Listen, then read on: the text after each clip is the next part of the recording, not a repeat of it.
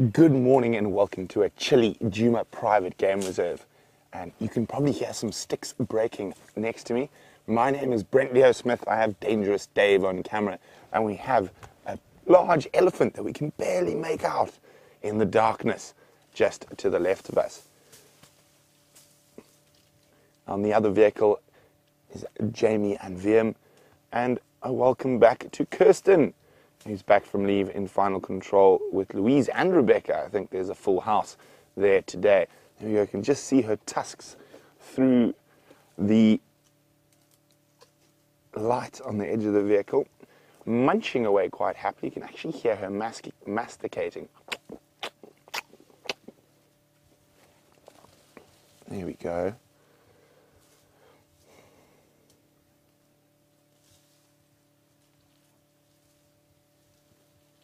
So a big thank you to all the updates about Tingana, who was on the Djuma Dam cam last night. Happened to be that Tammy and I were reading when we heard him calling, and I immediately switched on the dam cam. And actually, great work for the Zoomy who was on duty last night. We got such a wonderful view of Tingana.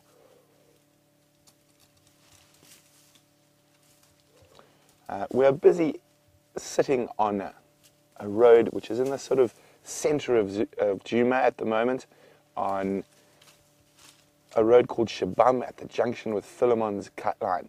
Now, the reason we're in this area, it is an area where Queen Karula, the dominant female leopard of Djuma, has been seen frequently over the last few months. And we did have tracks of her in this area yesterday. So we are hoping that she's going to make an appearance. I know Jamie is following Tingana's tracks at the moment and she, I'm sure she'll give you an update when we go back to her. But we're going to leave these elephants for the moment, and hopefully we'll catch up with them when it's a bit more light. And don't get a fright. We might get trumpeted at as we move past them slowly. Bye bye, elephants.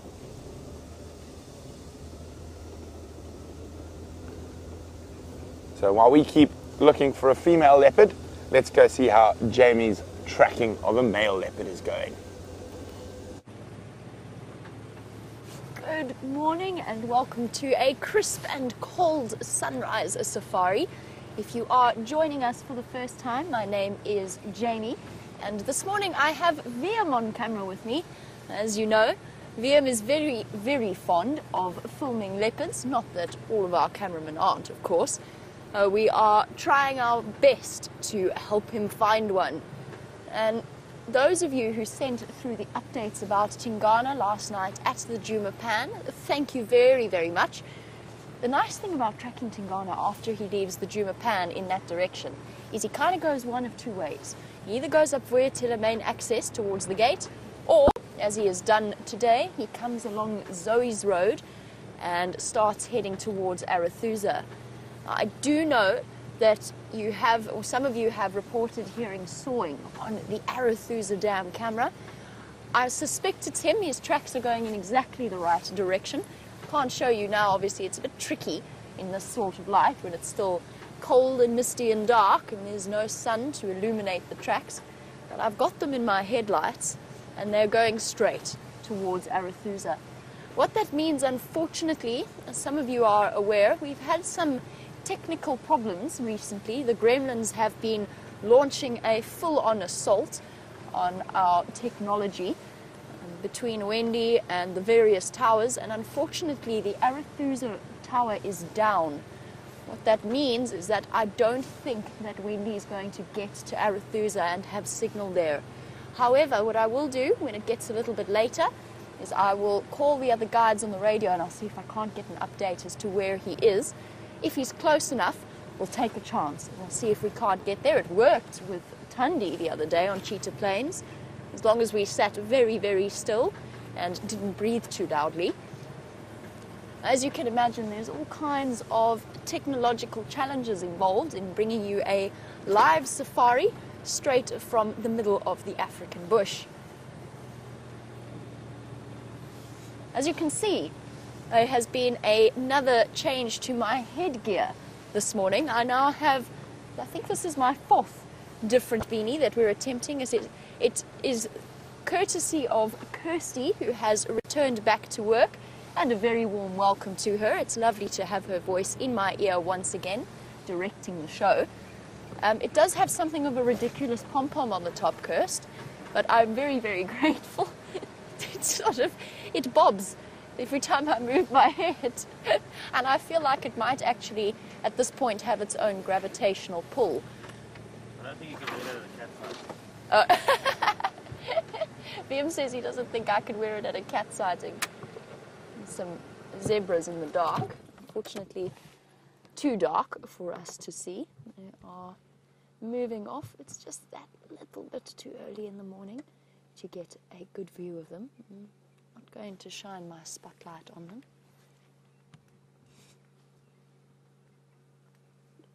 Can you imagine Tingana jumping onto the bonnet to play with the bobble on my head? That would be sufficiently terrifying. All right. Well, if we find a cat, I shall have to remove Kirsty's hat. Oh, that was very Dr. Seuss.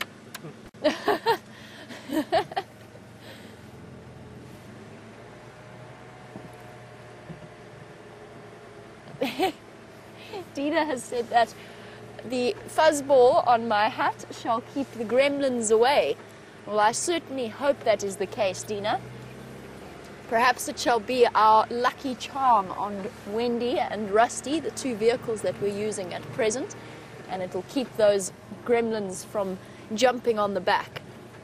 It certainly is sufficiently terrifying. It is, however, incredibly warm and cozy. Kirsty also bought me a microwavable hot water bottle, which, for which I am most grateful. It is, as usual, tucked up inside my jackets to try and stave off the winter's chill. Liam, have you got your hot water bottle? Yes. Liam's also got a hot water bottle now.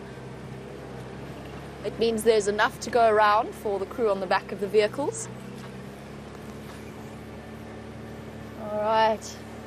Tingana's veered off into this block, to the west of this block, which is his usual path. I have followed in him in here once before. Now, Tingana, for those of you who are new to the show, and unfortunately it has been a while since we last saw him, one month and two days by James Richards' reckoning, since we last saw him on our live safaris. He's a big, dominant male leopard. He's got essentially just a head and shoulders. His neck is so thick it barely looks like it's there. The last time I followed him into this block, or the last two times I followed him into this block, I discovered some old aardvark burrows, a network of old aardvark burrows, and I discovered them through my wheels disappearing out from under me and being quite stuck, quite considerably stuck, and in one case stuck for a good hour and 15 minutes before I managed to get the car out with the help of Eugene. An interesting lesson learned there about where you can drive in this particular block and where you can't. And of course, the kicker to that, to add insult to injury, is that I seem to have some kind of aardvark repellent about me. For I have yet to see, despite growing up in South Africa, traveling through game reserves, working throughout different game reserves in the country, I have yet to see an aardvark. Uh, I just find their old burrows and network of tunnels, not the animal itself. But you will all be around when that changes, and I'm certain it's going to change very soon. Because as we head into winter, or as we head further into winter, I think we have, it's safe to say we have arrived at this point. As we head further into winter, the nocturnal animals are coming out earlier and they're going to bed later which means we've got a far better chance of seeing them. And why just in the last few weeks, honey badgers, wildcat, the pangolin that I'm slightly just a little bit jealous of. Kirsty, your hat, your hat is determined to push my earpiece out of my ear and fall off my head.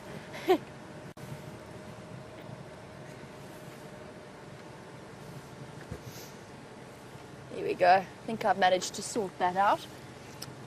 Our last night, before the Djuma Dam camera turned onto Tingana having a drink on the eastern side of the dam, we were listening to the roar from our bedroom at Inger's, And Leopold would like to know is there a way to tell the roar of a big cat or the gender of a big cat through its roar?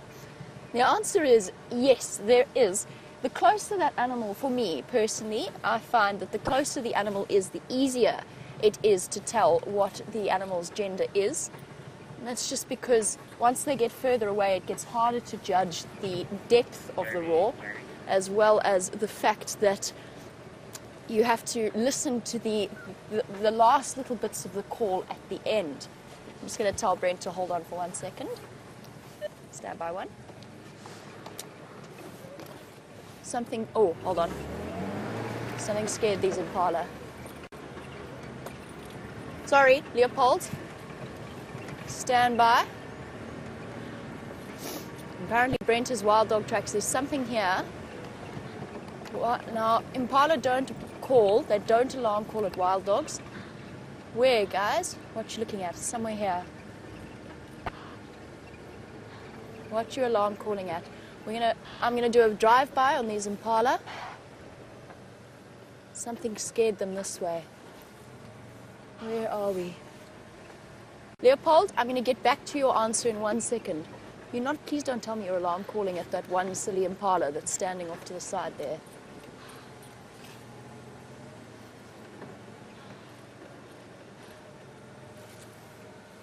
Let's just double check very carefully around here. I'm hoping they haven't got confused. There is one Impala U standing off separate to the group, but they're still alarm calling and they weren't looking this far up. There's nothing walking on the road.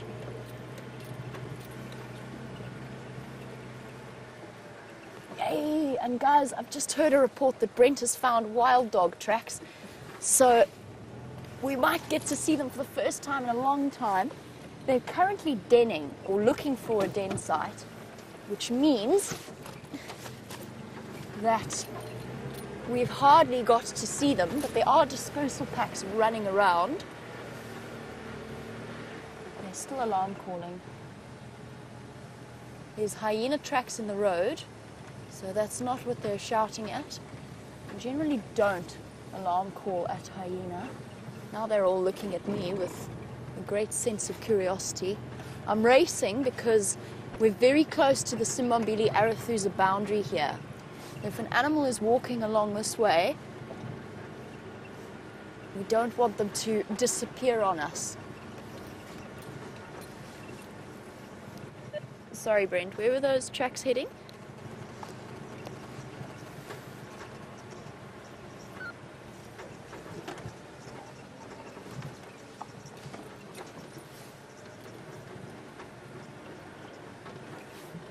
Looking in this direction, let's just go and sit here. We're on the main road boundary.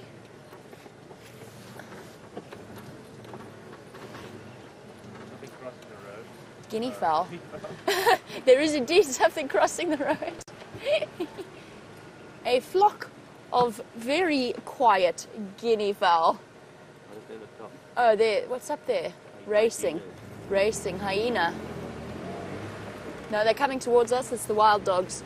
Hyena. Is it hyenas? I can't see. Yeah, bunch of hyena. Oh, it's hyenas. Sorry, I got very excited there. Thought it was the wild dogs. Excuse me, guinea fowl. Sorry, sorry, sorry. Where are you guys going? What's up? What's happening in your lives?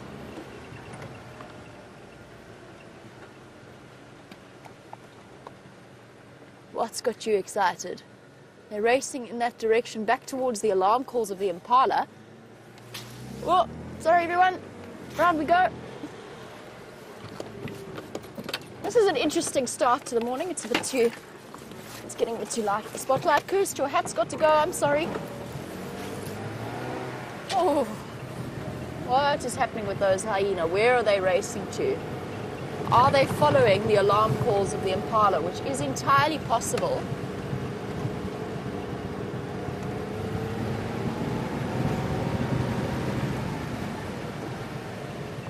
What do they know that we don't? There's no tracks here apart from impala, I mean, uh, hyena tracks that I can see. Oh my word, they're going so fast. And are the hyenas hunting impala, which is entirely possible?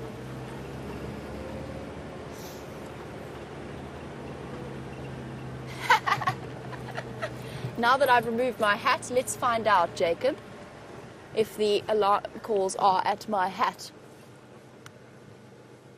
What's up, Impala? Look, they're all looking. There, there, look. What's happened there? What have they found?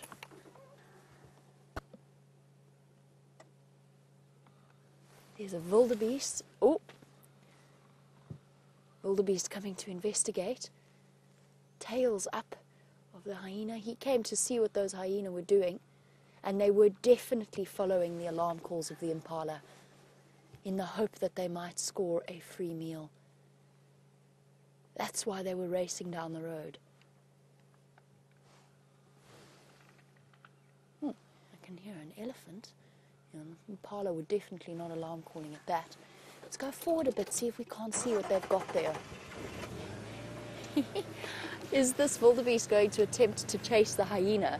It's entirely possible. He's thinking about it. What an exciting start to our morning.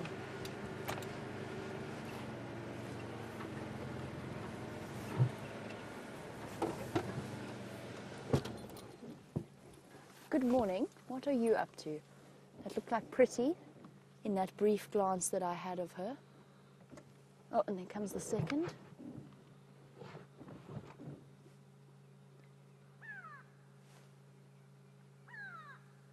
Now we've got the go away birds alarm calling. And that is not a normal go away bird call, that is an alarm call. But I think they're alarm calling at the hyena, which is unusual, but not impossible. All right, let's get let's try and follow them. Let's try and keep up with them. If there were a leopard still here, they would be showing us where it is. Another U-turn, everybody. Oh.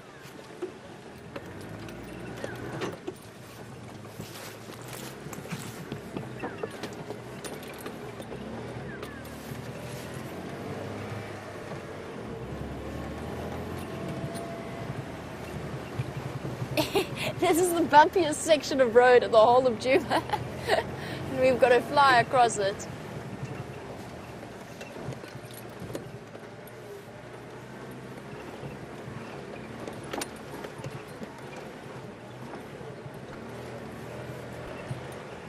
Don't go that way, hyenas. We will definitely not be able to follow you. And just just have a look at the stride, okay? I'm in I'm in third gear. I'm probably cruising along at around 20, 25 kilometers per hour.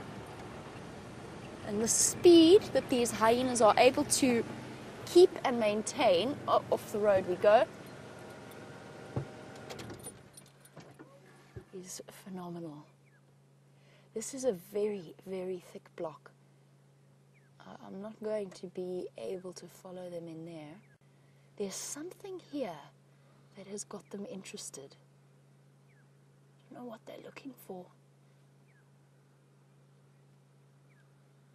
This is the block where I feel as though Karula's tracks disappeared into. Karula the leopard, the queen of Djuma.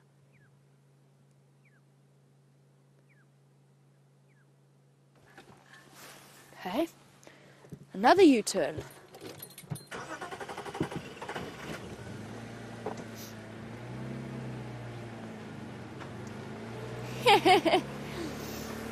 James Richard has said maybe we should think they're going back again. Oh my goodness. You're keeping me guessing, hyenas. I know you can't see them at the moment, but they're racing back to where we just had them. Oh, back again. Are they hunting the impala? It doesn't look like it. So James Richard has suggested we add them to our tracking team. James, I'll ask them as soon as they stand still long enough for me to, to have a good conversation.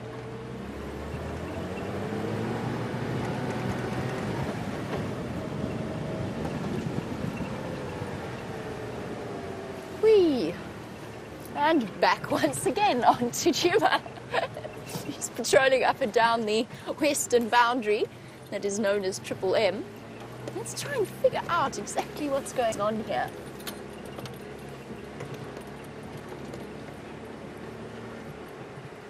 Now, strangely enough, here come the hyenas again. The impala, that's off them. It's all right, guys. What's going on? What is going on? There's elephants. There's hyena. There's everything around here.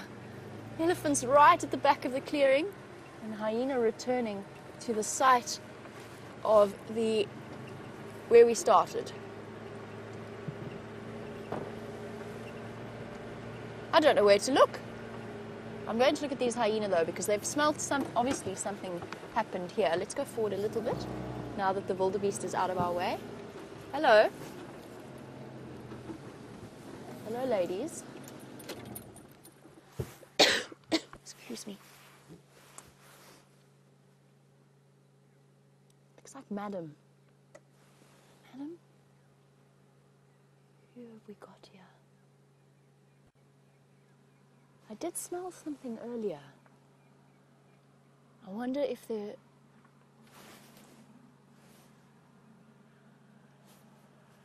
I don't know.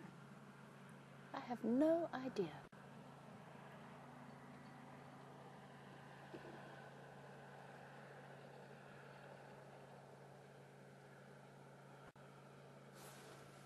There's another hyena. There's a third that's come to join the fray. What on earth is going on? There's something here. There is a third hyena, I promise. It's just decided not to come and join us.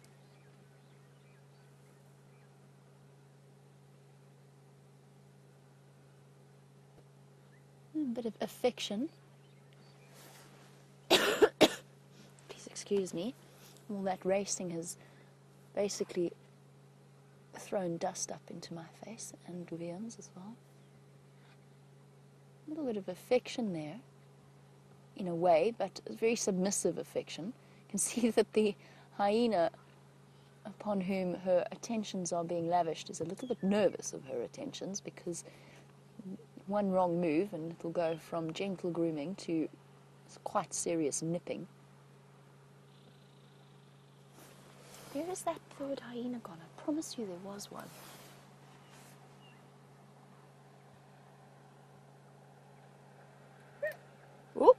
Ouch. Thorn. Shame. Stepped on a thorn very clearly. Little yelp. Hmm. Well, your guess is as good as mine. It's something has clearly happened here. That something could be a couple of things. It could have been a leopard kill a small leopard kill if the leopard has since consumed most of whatever it was, or maybe a rival clan or an unknown clan, unknown hyena came and either defecated or urinated here, or wild dogs came racing through. I can't see any tracks of them, but you never know. Could be almost anything. But something here has attracted their attention. Just to let you know, the alarm calling impala have moved straight into the direction of where they were alarm calling.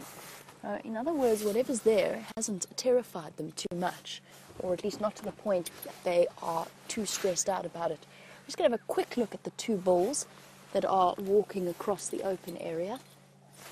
Two magnificent males.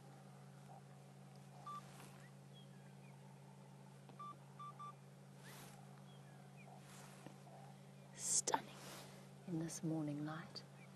But I'm going to try and stick with our hyena for now. We've been spoilt with elephants recently, and we've been we've actually had some really nice hyena sightings as well. And they are moving off. All right.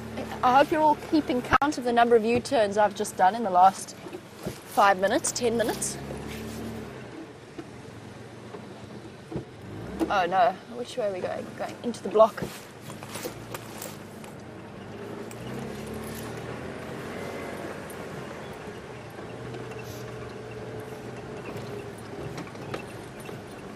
And guys, please don't forget to send through your questions.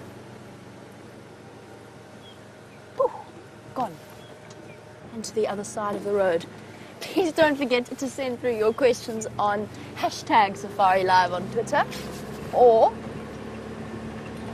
you turn again, email them through to questions at wildearth.tv.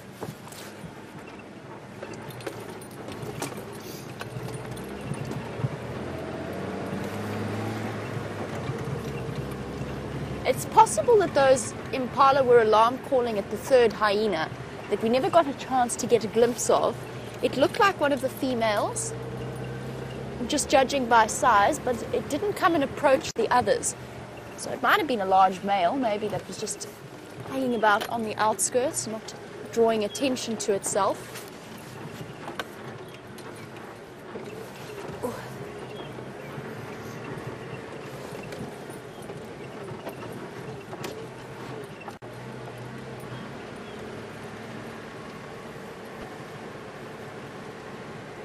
Did they go? Now, while I have a look and maybe go back and investigate the area that they were sniffing, let's see what Brent is up to now that he's made it to Cheetah Plains.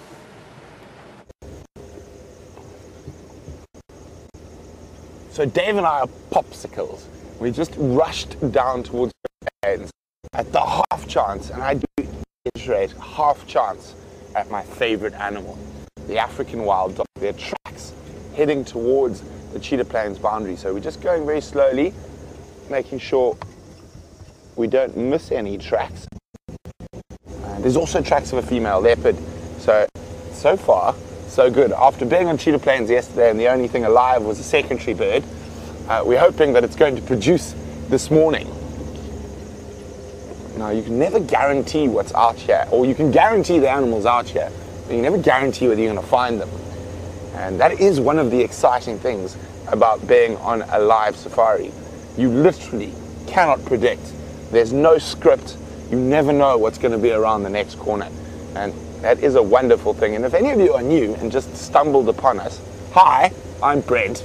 I got Dave as my cameraman, and we're in the northeastern part of South Africa, uh, within the Greater Kruger National Park, searching for Africa's amazing creatures.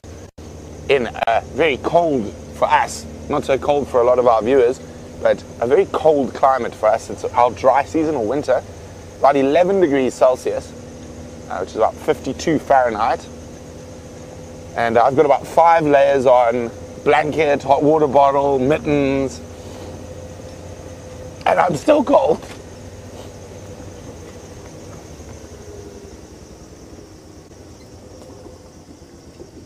So when you see me lean over like this, I'm looking in the sand to try to see if there are any tracks of the animals we're looking for.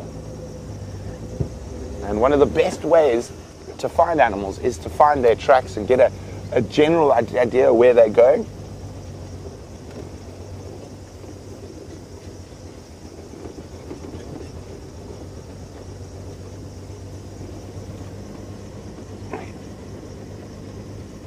So we're going to keep checking really carefully around here. But while we do that, Jamie is back with Crocuta Crocuta. I'm, I'm back with the hyena, or desperately trying to at least.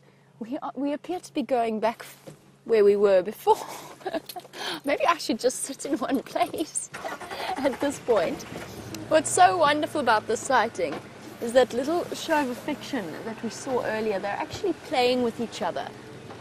So jumping up, playing a little bit like wild dogs do or puppies do. Okay, now where have we gone? Trying to keep up with them is almost as difficult as keeping up with wild dogs at full speed. Oh, especially on this very bumpy main road.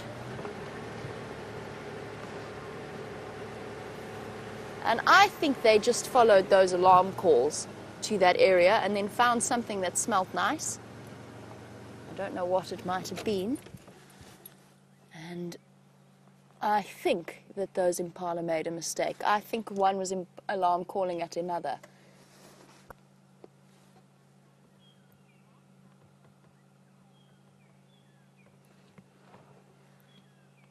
That's an interesting theory from Bethany, a really good theory. Bethany has asked, do I think that there could be a hyena, could have been a hyena fight last night? Because last time that happened, Corky and Pretty returned to the scene. Corky and Pretty are two very high-ranking females within the hyena clan themselves. And they returned to the scene of the crime, so to speak, to have a good, jolly good sniff around. That is entirely possible, Uh, entirely are you on the plausible.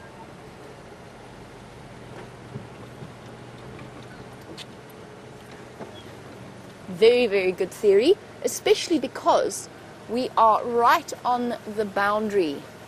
This clan, they're basically in their on their very western, from what we can tell. Obviously, we don't 100% know, but from what we can tell, we're right on their western boundary.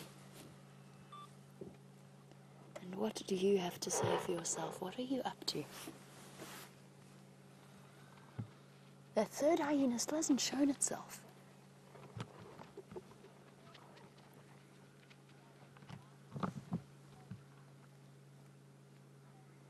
Is clearly the lighter colored hyena is a submissive one, and pretty is clearly the more dominant, which is how we understand our hyena dynamics anyway. And Corey, this is very, very common to see them moving about in groups of two like this. So, yes, whilst a hyena clan has an, a, a big, can be up to 40, 50, even 70 members in certain parts of Africa, they very seldom unite in one large group unless they are mobbing a lion pride to try and get them off a kill or faced with a territorial dispute from another clan. Oh, and we're going, where are we? Oh, we're going back again. Keeping us guessing this morning. Maybe I should just drive in reverse because they never know when they're going to turn around and come back again. We're going back. Whoopsie.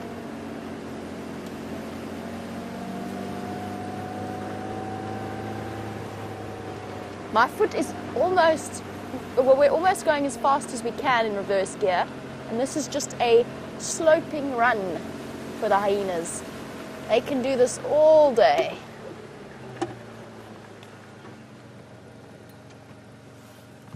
I'm not even going to try and reposition because they're just constantly moving.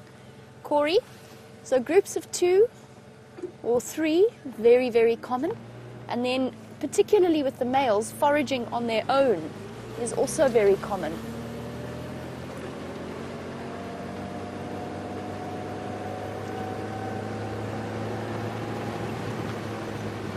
I know this is exceptionally uncomfortable for you all, but it is interesting to see the speed of this hyena.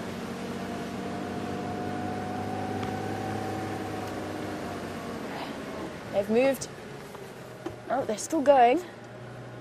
It's incredible the stamina of these animals. Just racing through the bush. And they can do this for miles and miles at a time. They're coming back to the road. We're not even going to beat them there, which is what I was hoping to do.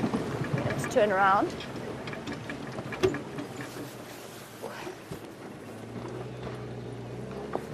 I was hoping to try and get in front of them, but they're just too fast for me.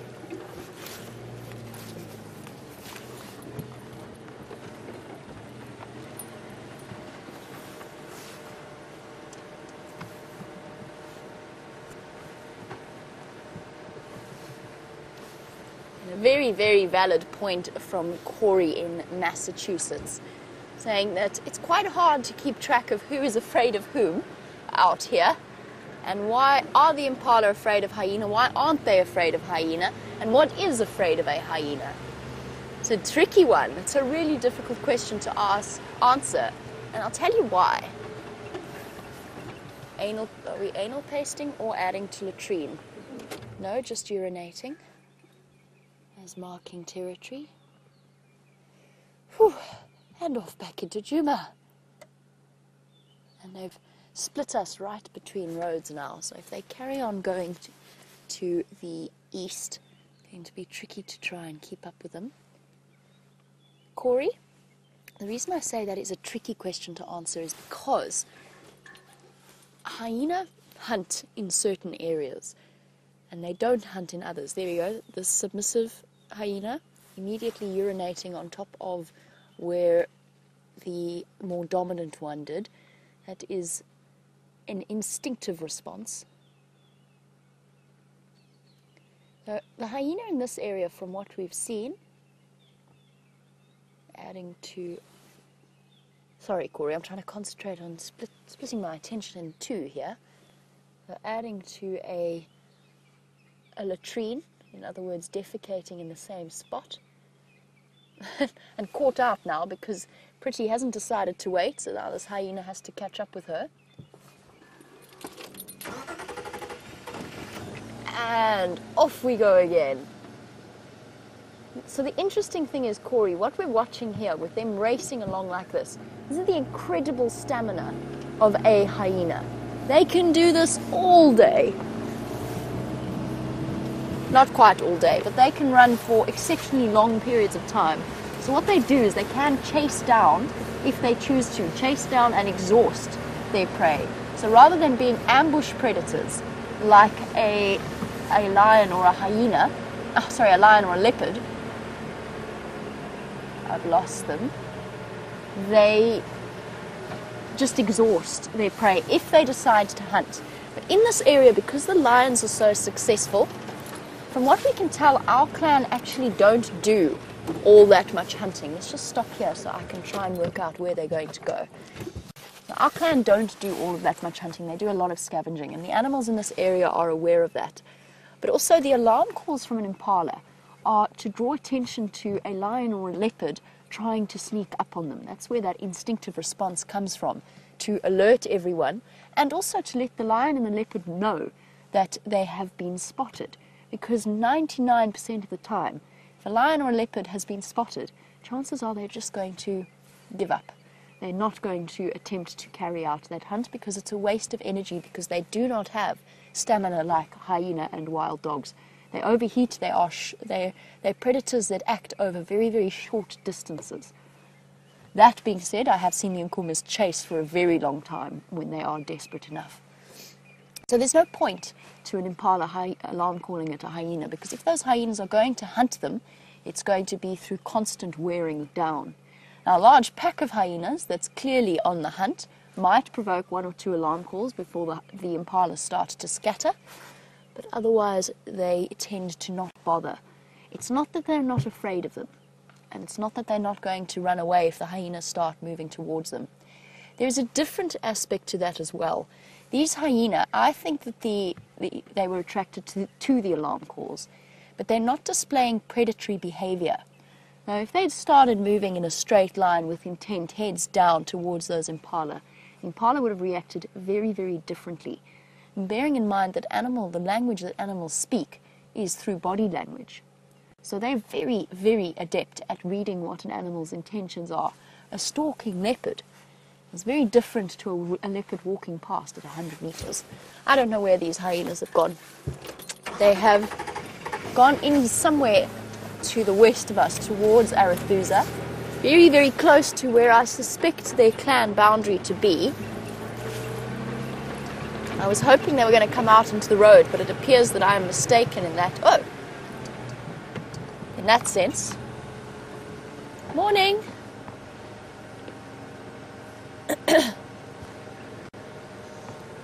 elephant cow is speaking of animals' body languages.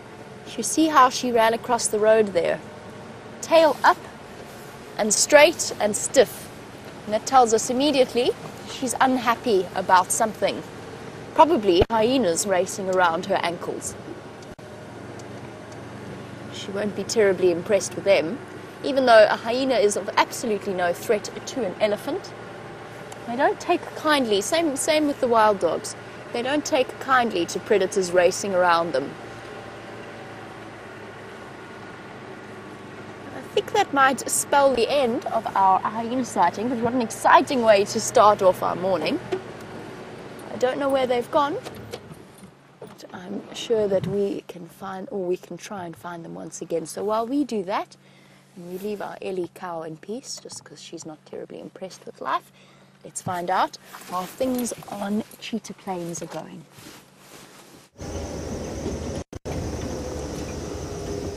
So I just got a call from Andrew, and we've rushed back from where we were. And look at this, we've got some lions. So we came out here looking for wild dog and, and leopard, and we found some big lions. Morning, thank you, Andrew. Styx. So it looks like the Styx Pride. You can actually see suckle marks on that female's belly.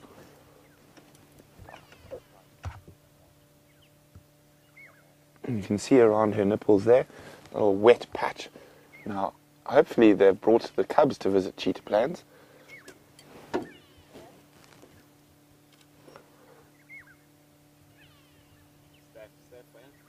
But they have got massive bellies. They've obviously been feeding quite well.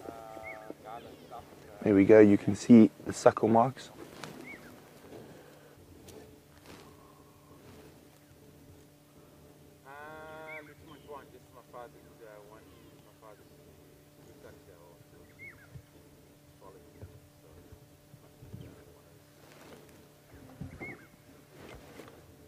Look at this, isn't this great?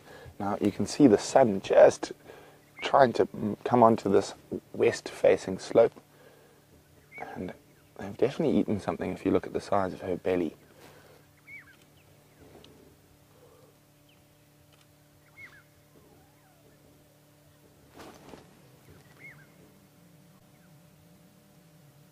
Sorry guys, I'm just trying to listen. I thought I heard something.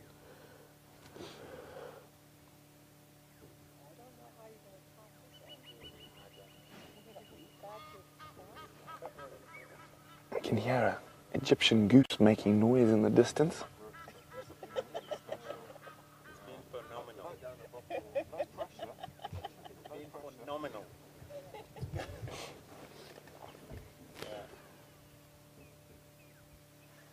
So we found the tracks of these lionesses a couple of times around the western edges of Cheetah Plains and the southern boundary.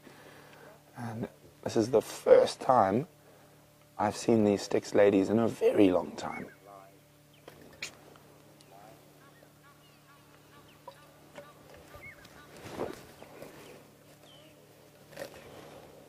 So they have been keeping their cubs further to the, the west of here, but there's always a chance. Always a chance that they could have brought the cubs into this creek system or river system that runs below the Cheetah Plains Lodge.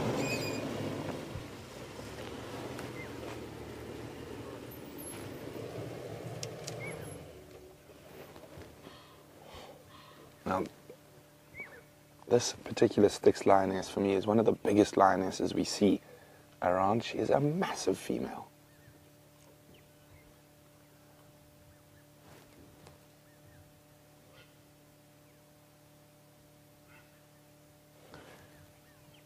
And I think these lions were spotted while everyone was having coffee or tea to start the morning at Cheetah Plains. Oh, look at that. That beautiful light in her eyes.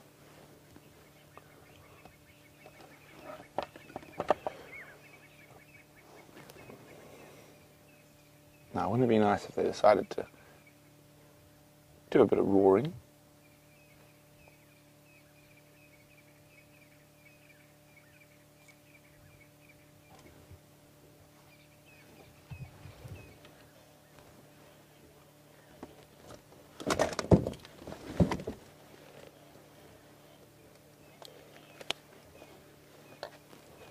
Oh, look at that belly.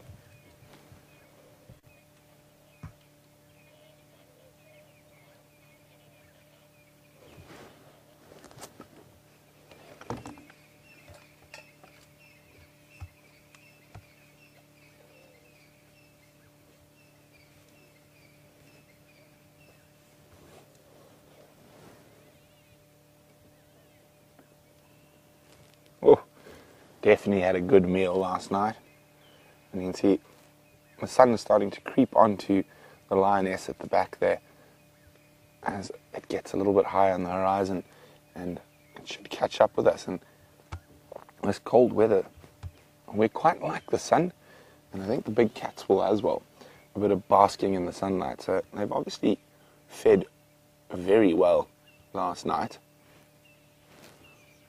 Now, the reason I say I think they might have spotted these lions from the Cheetah Plains Lodge is because if we have a look just over here, there's the little water. Ooh, there's the little water hole in front of the lodge.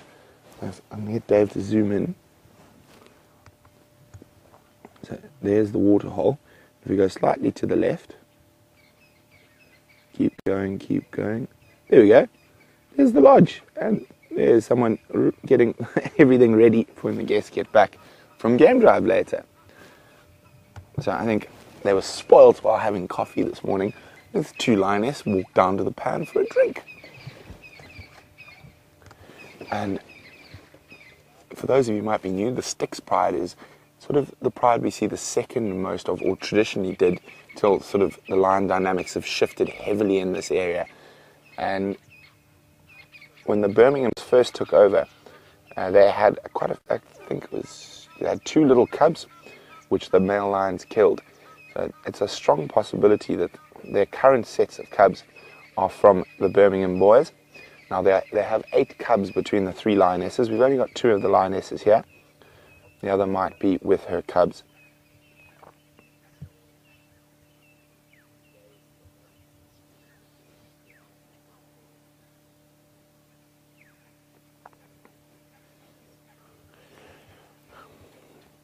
So Jen B says it looks like she might have caught mange from her mating partner. There is a Birmingham boy who has a bit of bare skin on his belly. If we go close into that, please, Dave. A little bit closer. Uh, Jen, I don't think it's mange. And I think it's probably just a little fungal infection. And I don't think that Birmingham boy's got mange either. So because his hair has started growing back, and that would be very uncommon if it was sarcoptic mange.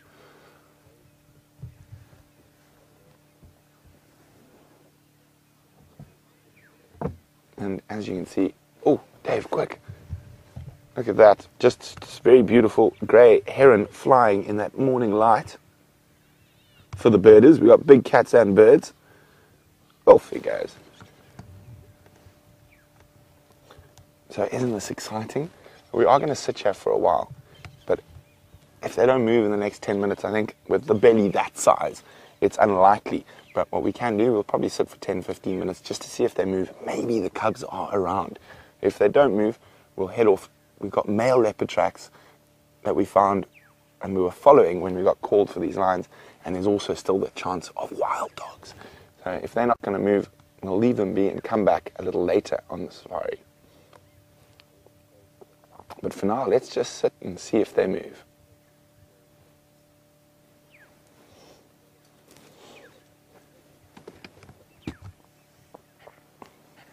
Just zoom there on her back for me, please, Dave. What is that? Ah, oh, just a little bite mark, probably from fighting over food. So, speaking of lions' food, Joey in Australia would like to know do lions ever hunt kudu? And uh, if so, how often? Well, they do hunt kudu if that's what they happen to come across. But lions are opportunistic hunters, so they'll hunt what's in front of them. In this area, they tend to hunt quite a lot of buffalo, especially now moving into the, the drier months. So the buffalo are dropping a bit of condition. The herds actually forming, they're forming bigger herds, up to about 500 at the moment. So there's always a chance of grabbing a baby or a weaker one out of those big herds. So at the moment, they tend to be focusing on buffalo. But if a kudu happened to walk in front of them, they definitely wouldn't say no. And uh, I'd say in certain parts of Africa, kudu form quite a big part of lions' diets. Now, one must remember that a lot of this stuff, rather than being animal specific, is area specific. So the lions here will behave slightly differently to the lions in the Okavango or the South Luangwa. I mean, there's a lot of general traits that are the same, but when it all depends on the surrounding bush and the surrounding densities of game. So where there's a lot of buffalo, lions tend to focus on buffalo. Where there's not a lot of buffalo, lions tend to focus on the other big animals. So, for example, in the Kalahari Desert, the lions do hunt a lot of kudu, as well as eland and gemsbok. Uh, but out here, I'd say, well, I have seen the one kudu kills before, but I'd say buffalo is the main animal they focus on here. I'm just going to move the vehicle quickly. And if you're wondering and want to know more about these lions, just pop me an email at questions at wildearth.tv or use the hashtag Safari Live on Twitter. What I'm going to do is I'm going to try get that lioness who's lying in that gorgeous morning light. Oh, she's not so full. So it looks like maybe the other one was a greedy guts or caught something small while she was away from the other lioness. And she's hungry, but by no means starving. But just look at that wonderful early morning light on her.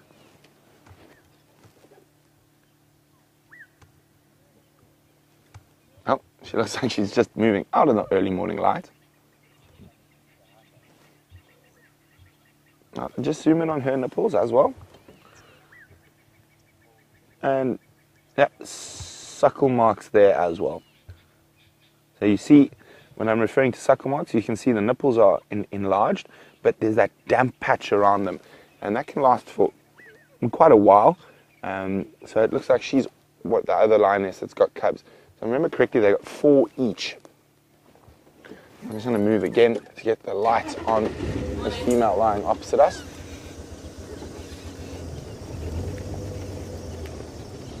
How's that, Dave? Beautiful. Oh, there's one little blade of grass that I think is going to irritate me. Just go forward a little bit. There we go.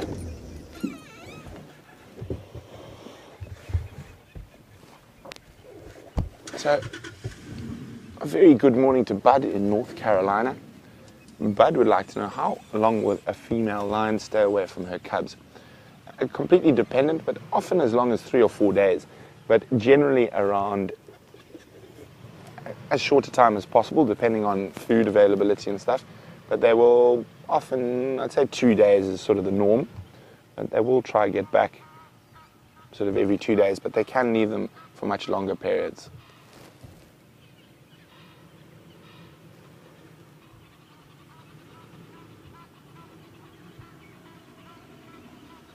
Oh, so comfy.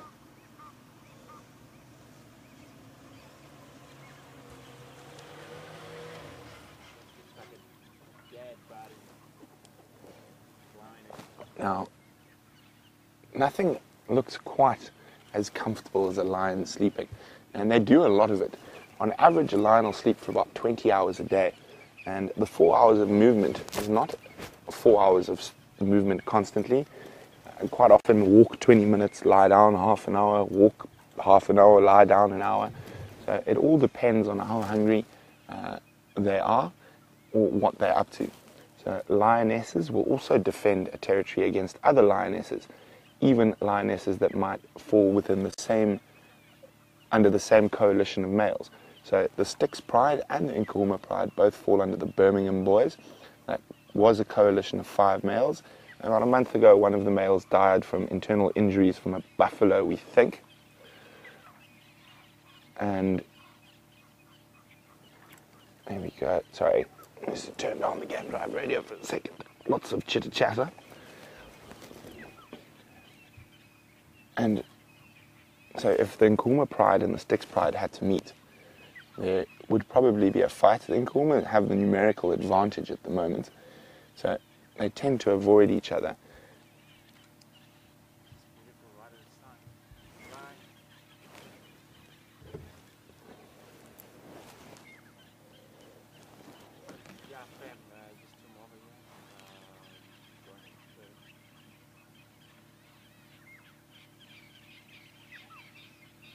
Can hear the dawn chorus of birds has suddenly decided to wake up. The francolins are giving it a proper go. You can hear starlings, orioles, red-billed buffalo weavers.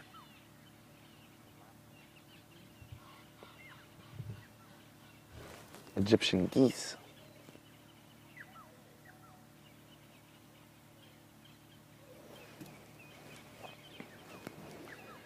Good morning, Natasha in Ontario.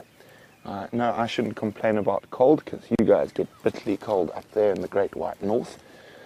But Natasha is wondering, do lion cubs have a better survival rate than leopard cubs? They don't. It's, it's, it's very similar. Around 70, 70 to 75% of the cubs will die. And again, like leopards, most of them are killed by male lions. So male leopards kill leopard cubs and male lions kill lion cubs. Now, a lot of that is done by nomadic lions, so young males uh, that are still too young to find their own territory and move through different areas. Now, like all little cubs out here, they have quite a strong chance of also being killed by hyenas, by leopard, by cheetah. Lion cubs have actually I've seen lion cubs killed by buffalo. A herd of buffalo smelt them up and stampeded over them. And a lot of that also depends on the strength of the pride. Now, believe it or not, I've been watching this. Well, the first time I saw the Styx pride must have been 10 years ago. Uh, further south, their territory does extend south from the northern Sabi Sands into the central Sabi Sands. And when I first used to see the Styx pride, there were 11 adult females in it. So they were a very big pride. And now I think there are only three, hey Andrew? Three. Yeah. So, and that happens often with uh, lion prides, and they, they go through dips and and and and and peaks.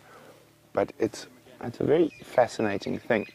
Now, we chat a lot about how female leopards invest more time in the male cubs because it's the best chance of them spreading their genes because the male is going to move out and mate with multiple females that aren't generally not related to them. But with lions, it's slightly different. So the, the genetic strength of the lion pride is within the females. So they defend the female cubs probably a bit more vigorously than the males. Male cubs also bring danger as soon as they start getting over about two and a half years old, um, even from their own fathers or from outside males. So a male lion is not something you want to have in your pride for too long.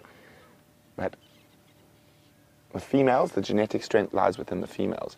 So they do protect those female cubs a bit better than the male cubs. And mm, difficult to say if they put more effort into it, but there's a at a certain stage when they start trying to push the males out of the pride. Now that doesn't always happen. We've seen that with the Nkuhuma. They seem incredibly tolerant of of, of junior, but that is uh, not the norm.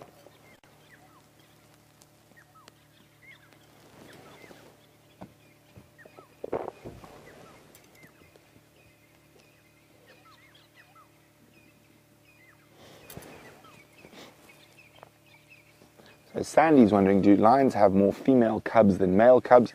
Sandy, it's, it's a lottery, just like with the leopards. You never know.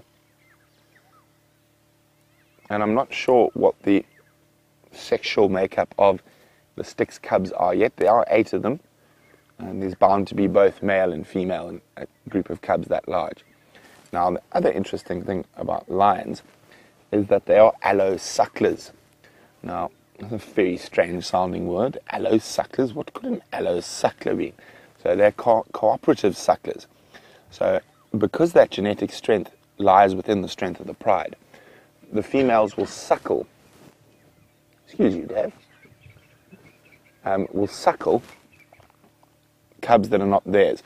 Of course, they're probably going to share a lot of genetics with those cubs.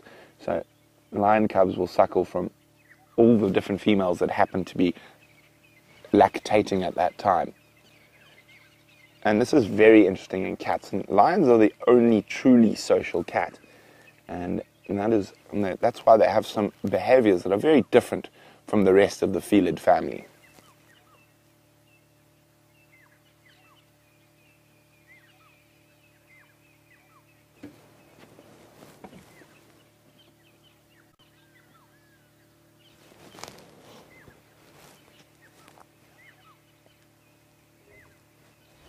Morning, Tammy. Tammy would like to know do lionesses, when they have cubs, keep their dens away from each other or close together or whatnot? They'll generally be apart uh, until they introduce those cubs to the pride. Now, the Styx seem to introduce the cubs to the pride quite early in comparison to other lions I've seen in other parts of Africa. Now, as I said, animal behavior is area specific and even be pride specific uh, rather than species specific.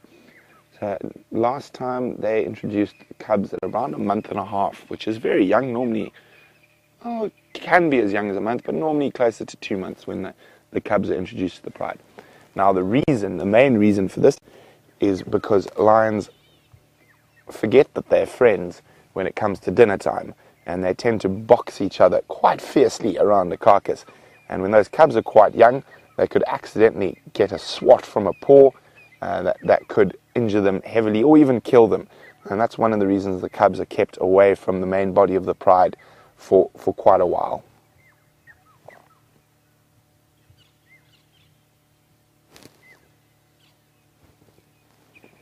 So it doesn't look like these girls are going to be moving anytime soon. So I think we're going to carry on, see if we can get back onto those male leopard tracks and even maybe the wild dog tracks. So we're going to leave these ladies to sleep up. We'll definitely come back and check on them a little later.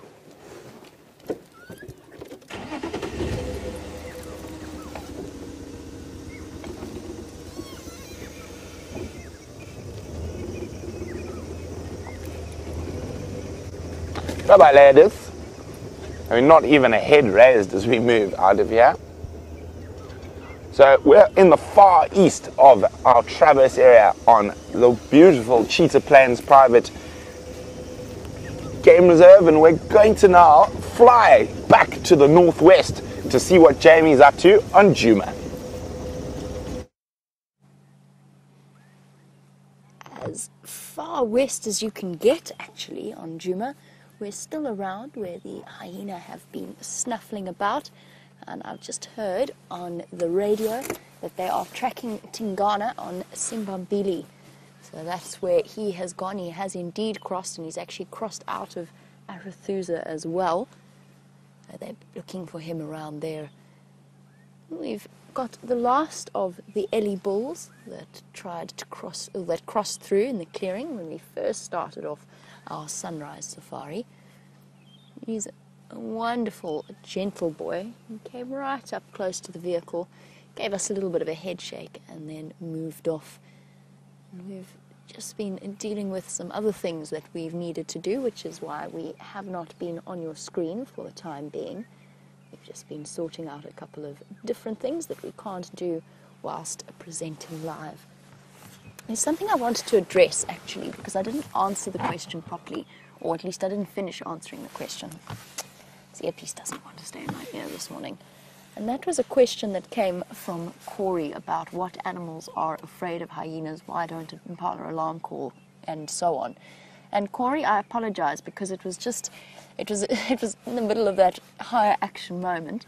We spoke about predatory body language, but you wanted to know what types of animals are afraid of hyena, and I don't think we ever fully addressed that. So we kind of covered why they weren't alarm calling necessarily at the hyena, but not what animals would be under threat. Impala, yes, although they are quite speedy, and it's it's not all that often that hyena will target hyena, um, will target impala unless it is right at the beginning of their birthing season.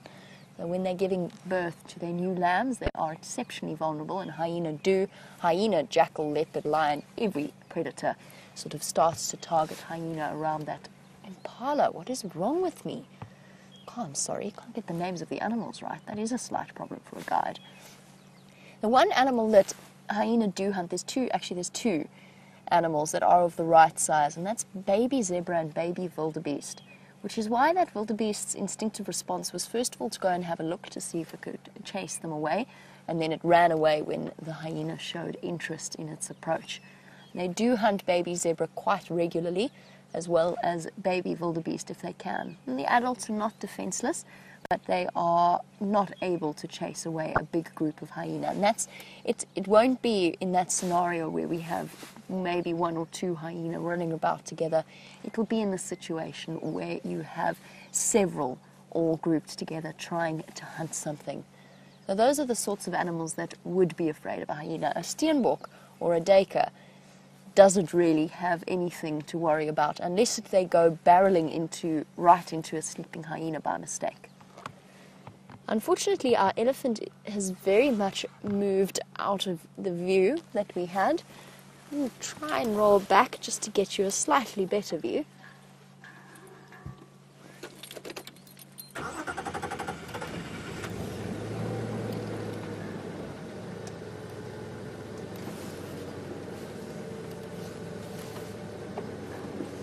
There we go.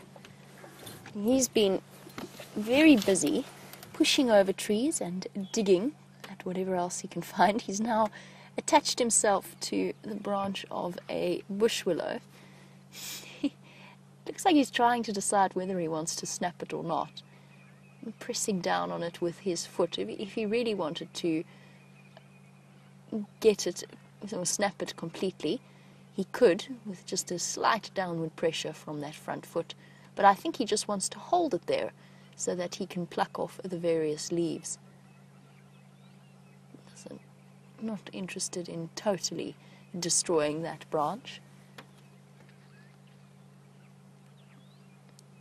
Amazing watching the coordination of an elephant as they feed, the different ways in which they use their feet, their tusks, their trunks, and their mouths all combined to yet the most effective way of taking food and putting it into their mouths. And they do, I mean, they, they've got plenty of practice at it, since an elephant, in order to maintain its enormous body weight, has to eat pretty much constantly to survive. Mm, very short napping periods, resting periods, and periods spent drinking. But the majority of their day and night is spent munching away. It's the price they pay, first of all, for being between around three to six tons in weight, and then also for having a very ineffective digestive system. And then defecate out about a third to a half of what they have eaten. It's also a hindgut fermentation process. It's quite a lot faster than that of a ruminant's digestive process. It goes through faster, a lot more is wasted, goes through very quickly.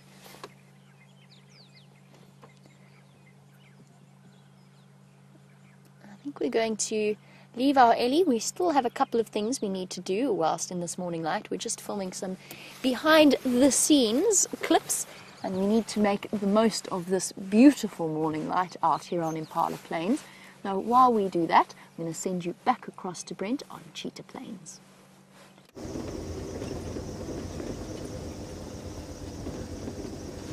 So we're now checking those leopard tracks cut east into the block here. So I'm just checking this little two tracks, see if we can find any tracks that male leopard.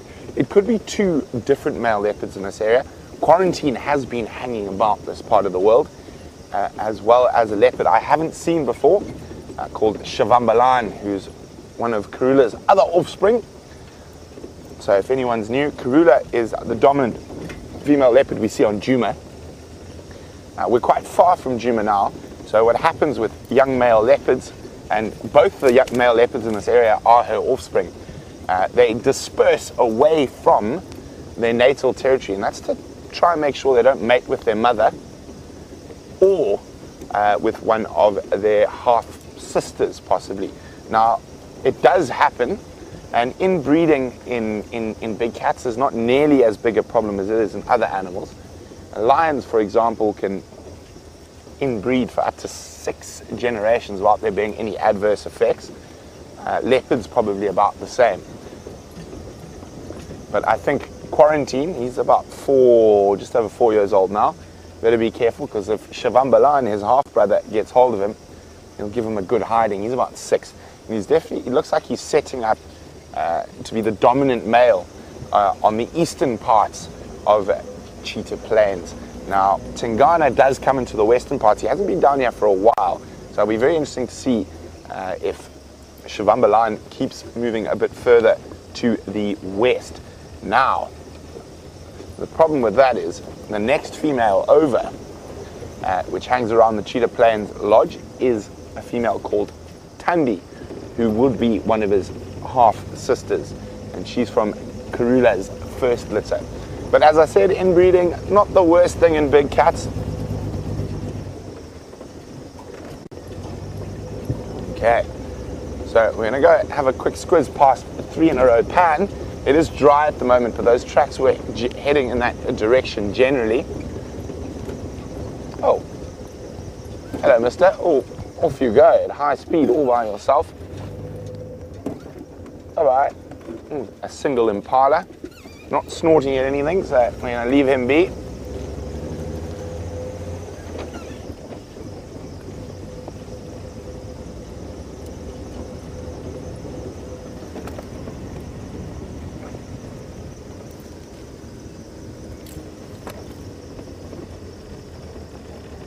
Okay, let's try it. Turn the volume up on my radio. Uh, Joey in Australia is requesting a big male kudu today. Well, Joey, I think we're going to have to ask Jamie for that. She's got a better chance on Djuma.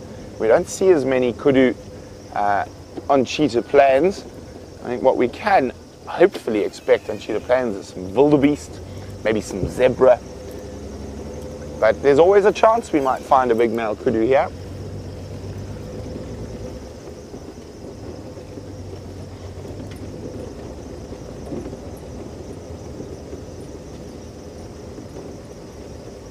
So today, 90 years ago, the Kruger National Park was formed.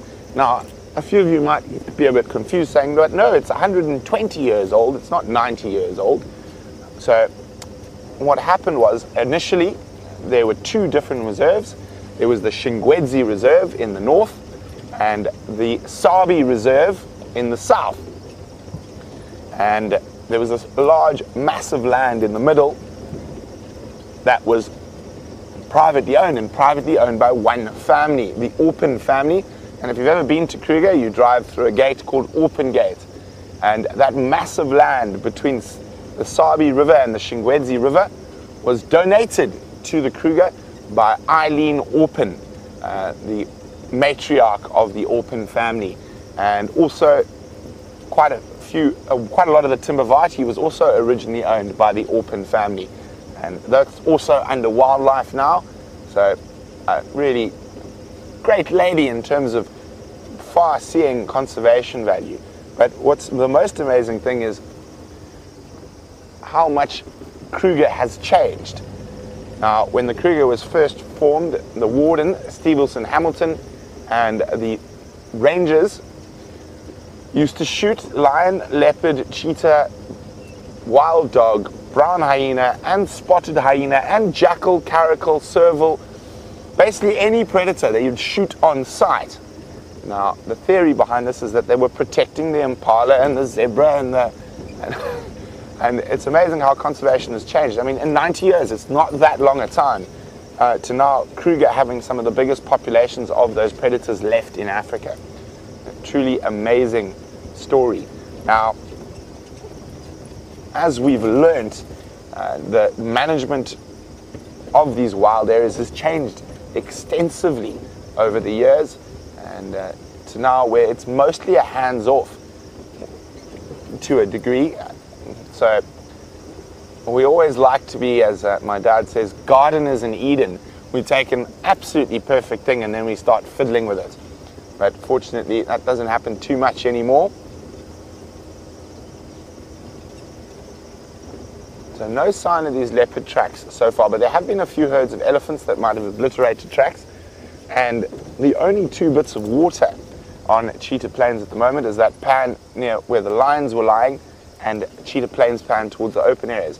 So we're going to take a meander towards Cheetah Plains pan and see if we get any success in that area.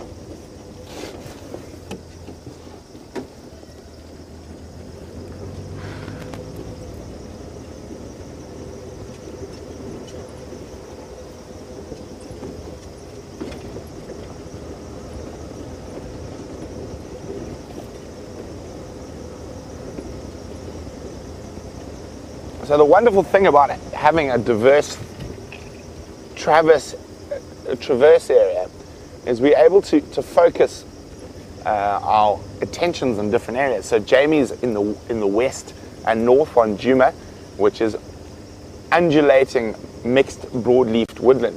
And here on Cheetah Plains, we are in undulating mixed broadleaf woodland at the moment, but it's slightly different. The trees aren't as big. The soil's quite a lot more sandy, so we do get a few different tree species around here that we don't see as commonly on, on Djuma. But also, as we keep moving further east onto the sodic soils around uh, the Kruger boundary, we get those wonderful big open plains that do enable us to see different species sometimes of bird as and as well as mammal. So we definitely see cheetah more often down here, although we haven't had much cheetah luck for the last while. Let's have another look at this track I saw here.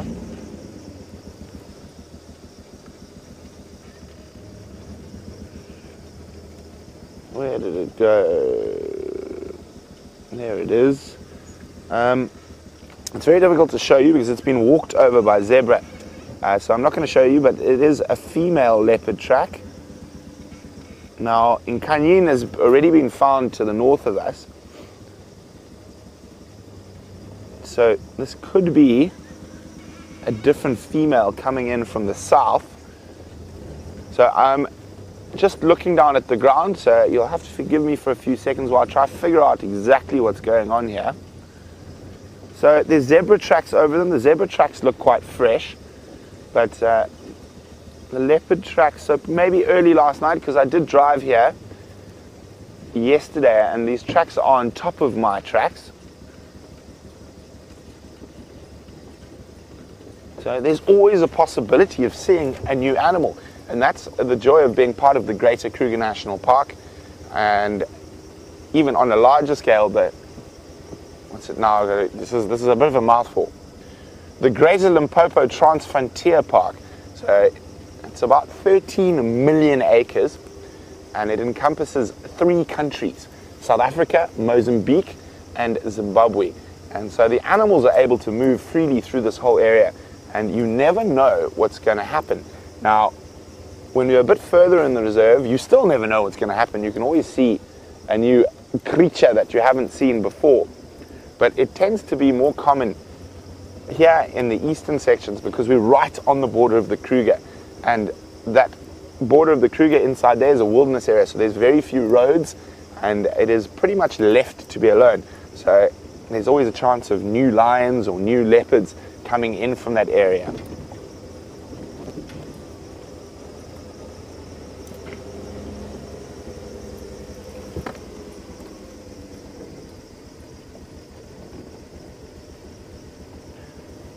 I seem to be having some volume issues today, but anyway, let's do okay. So Aaron in New Zealand is wondering what's my favorite memory of Kruger. I've got quite a few. Um, recently, Jamie, uh, myself, and, and some friends of mine, we spent quite a few days in Kruger, and I think we saw six leopards in two days, which were really great, and some really beautiful sightings. I will. This week, I've been posting uh, pictures of Kruger since it's its birthday, and I'll definitely have to dig out some of my old Kruger leopard pics. But I spent two years living inside the Kruger in a private concession at Singita Lebombo. So I think one of my favorite memories of Kruger is going in search of the spotted killifish. Now, killifish is a weird, pretty little fish, and what I recommend is I get on Google and type in killifish or spotted killifish. It's K I L I, or is it could be a double I, I'm not sure, killifish. Now, they are quite threatened, and they're threatened because of the aquarium industry. So they have a very specific habitat requirements, and they often stay in water for very short periods of time, and their eggs can lay dormant for years and years. And there's a section of sandveld that comes in from Mozambique called the Pumbe sandveld. Very good for sable antelope as well. And there's a pan in in Kruger, and there's very little of that sandveld in Kruger itself. Uh, called Pumbe Pan, and uh, we got special permission from uh, the section warder of the area we, we lived in in Kruger, and myself and another ranger at the time, Jared. Oh, there we go. Now we've got male leopard tracks. Again, and these look better than the female leopard tracks. And again, on top of my tracks from last night, again, it's a, let me try show you one. It's a bit difficult.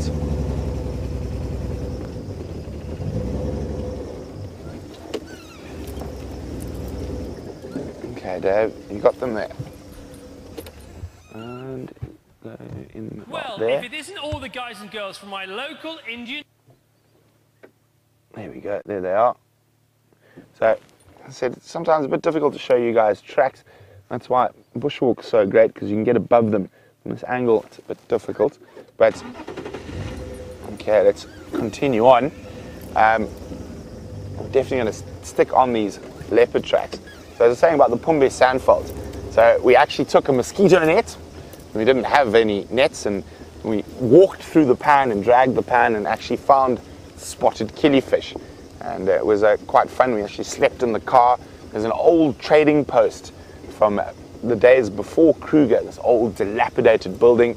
Made a fire, cooked lunch there. I think that's one of my favorite memories of Kruger from a, a long time ago. And then, yeah, as I said recently, uh, on Jamie's birthday, we went right up to the north of Kruger. She'd never been up there before. And uh, we spent some time in the Pafuri area, which is absolutely exquisite.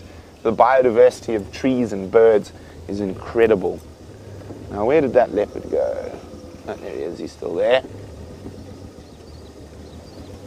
I'm still waiting to find a leopard in this tree here. It's a long-tailed cassia.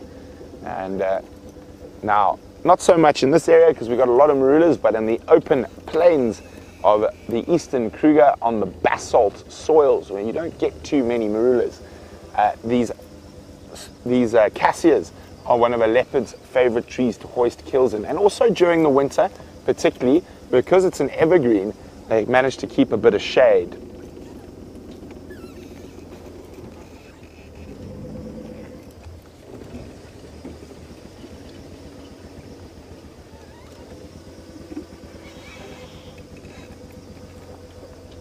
So, James Richards asking a question about endemic plant species uh, to Kruger.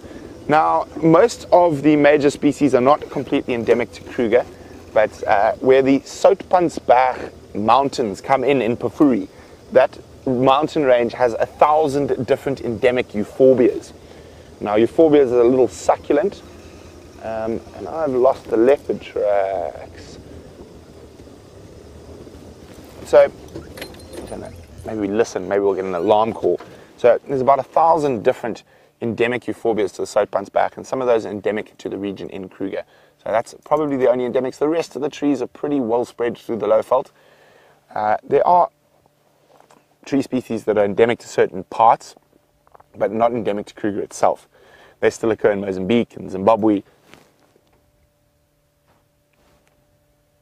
and other places uh, in, in, in, in Africa.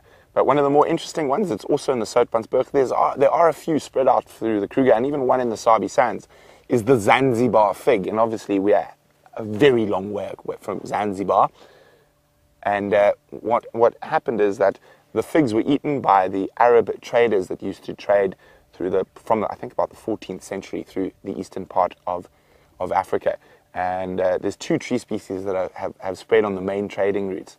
Uh, the fig less so, but there are a few of them around, uh, all along the main rivers, because the rivers are obviously lifeblood. So as they traded, they'd move up and down the rivers. And the is the tamarind tree, which is, of course, originally native uh, to India and the East. Now, tamarinds are locally native. They've probably been in Africa for probably a thousand years now, uh, specifically more in East Africa, where the, the Arab trading ports of Geddes and Kilwa were on the east coast. But uh, on the Zambezi Valley, the Limpopo Valley, you do find tamarind trees and Zanzibar figs that are left over from human trading routes. So really fascinating. And up on uh, the Pafuri area on the Limpopo River there, there are a few tamarind trees and Zanzibar figs. There's actually a Zanzibar fig probably about 15 kilometers from us, as the crow flies due to the south on the Sand River. It took us a long time to figure out what it was because it's not a tree you normally find in these parts. So I've just lost these leopard tracks now. I'm not sure whether he's ducked off into the bush here. Let's have a quick look a bit further back.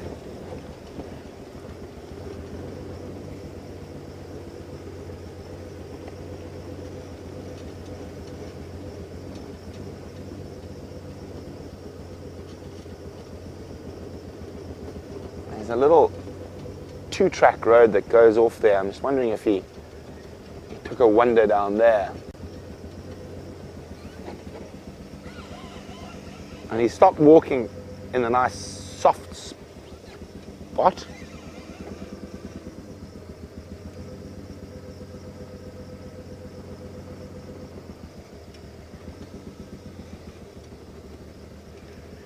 So we're looking at looking for these leopard tracks at the moment. All I see is hyena tracks. Let's just go back a little bit more. And while I've got my head bent over the side here, Joshua has asked a very interesting question. Hi, Joshua. I'm trying to find your leopard at the moment. Um, about leopard hierarchy and when new leopards move in and out of an area. So, let me just try to find this last track. So, with female leopards, it works slightly different from males. Now, I think I'm trying to think of the correct word to use here. Joshua, female leopard. Oh, nearly drove over it. I think it is the leopard. I think he might have ducked the other way. Um, female leopard territories are dynasterial, It's probably the best description of them. So they are dynasties. So they are passed from female to female generally. I mean, there's always exceptions to every rule. No, that's a hyena. Well, let's. I want to come back here later. I think I'm just going to check towards the water uh, on a on a whim, see if that works better. Um, so Joshua, so what happens when a female leopard gives birth to a female cub? It she generally once that cub reaches uh, maturity, and they reach maturity and independence a lot younger than males do. So they normally hit that at about just over a year. She will sort of move out of the core area of her of her territory where that cub has grown up, and uh, she will then move to the peripheries and challenge or push the other leopards. Obviously, she's older, she's got experience in fighting, and she'll push and move the, the next female along. I think that is happening at the moment with uh, Salahesh, and she's pushing into, into Shadow's territory. But because Quatilia has died, uh, it seems like Shadow is spending more time in Quatilia's territory. So very interesting little leopard dynamics happening there in the western sectors. But with male leopards, so generally from about, they'll often hang around with mom till they're about two, even sometimes two and a half. From then they're pushed generally by the dominant male in the area, and then they will meander. Uh, in the Sabi Sands, Greater Kruger area, they don't meander as far as other places. It all depends on densities.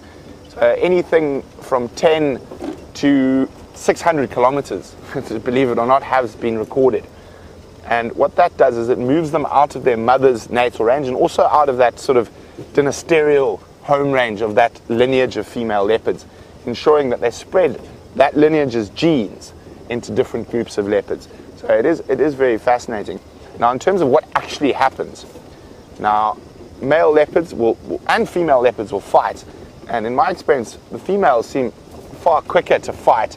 The males do a lot of posturing, like lying opposite each other, sawing, scent marking, snarling. But uh, the, the, leopard fights I've seen, I've seen far more female leopard fights and, and, and far more aggressive. I actually saw a female leopard, a very big female leopard, down along the Sand River, stalk and jump onto a new young female that had come in and whack her so hard that she burst uh, not only her eyeball but her blood vessel. And that was the, the last time I ever saw that female leopard. Whether she survived or not, I never knew. Uh, if you guys remind me, I'll try show you a picture. I've got a photograph of this leopard with a completely red eye, so blood completely filling the eye and swollen. And but they will fight and fight very viciously for territory if need be.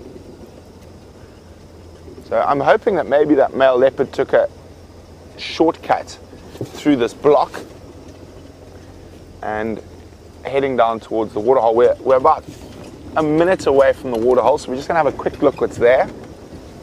And then if I get no luck here, I'll head back towards last tracks and try to decipher what's going on there. And here we go, we're about to appear onto the open area around the Cheetah Plains pan. No luck with the tracks yet.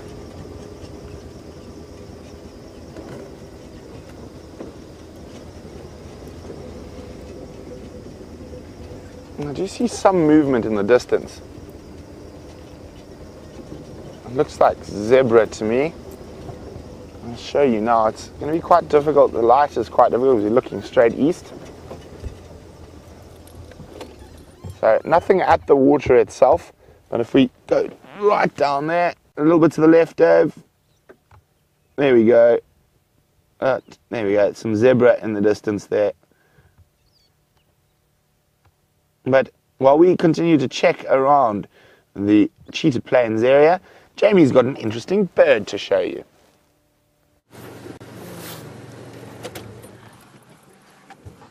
Trying to play a game with this red-crested korhaan. Not really so much a game, it's just try and sneak up a little bit closer on it.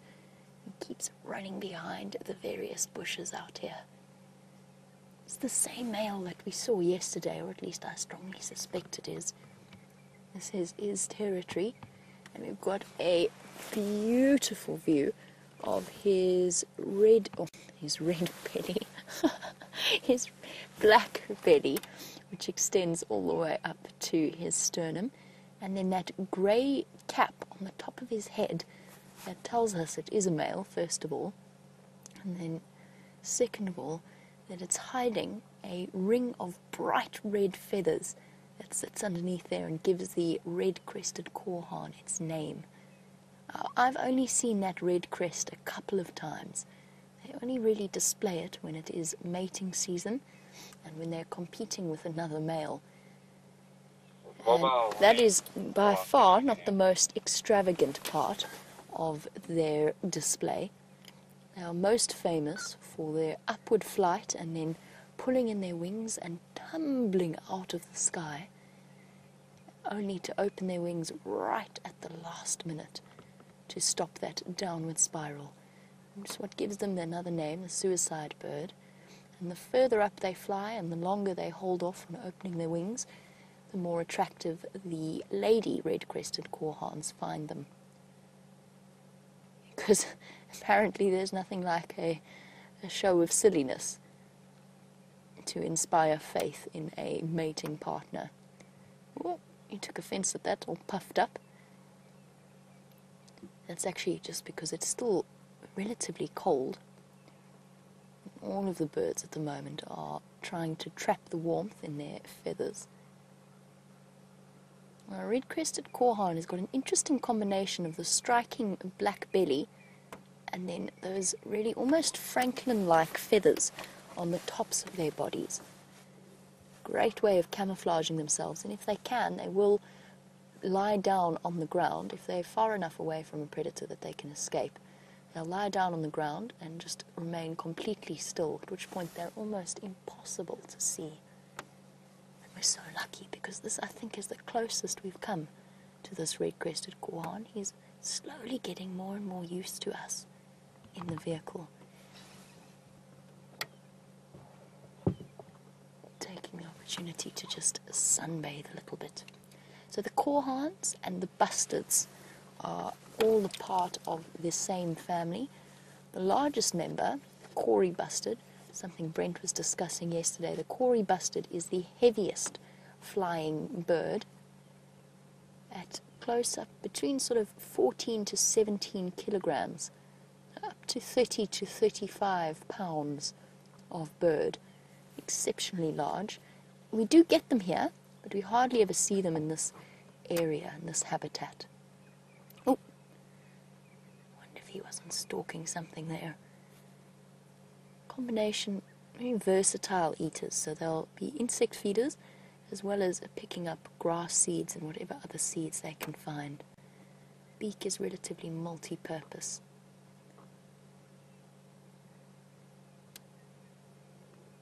And the other member of the bustard family or the korhaan family that we see regularly is the black-bellied bustard, much, much larger than the red-crested korhaan. Look at that. Doesn't he look like he's got a very full crop? Look around the base of his neck and see that slight swelling, that storage space that birds utilize, the crop, that they can eat and digest at will. It's also part of their slightly more complex digestive system since they don't have teeth that they can chew their food with. They have to masticate or crush up the food in a different kind of way. And they do that through having relatively muscular stomachs that can crush the food that's in it, along with swallowing a couple of bits of pebbles and various rocks and stones to help them digest. All right, I think I'm going to leave him be. The most relaxed he's been around the vehicle since we first started seeing him, so that's a nice thought. And as soon as I can get Wendy into reverse, we shall move off. There we go. Wendy's decided that I've reversed enough today. No more reversing for us. The hyenas never made a reappearance. I wonder where they disappeared off to.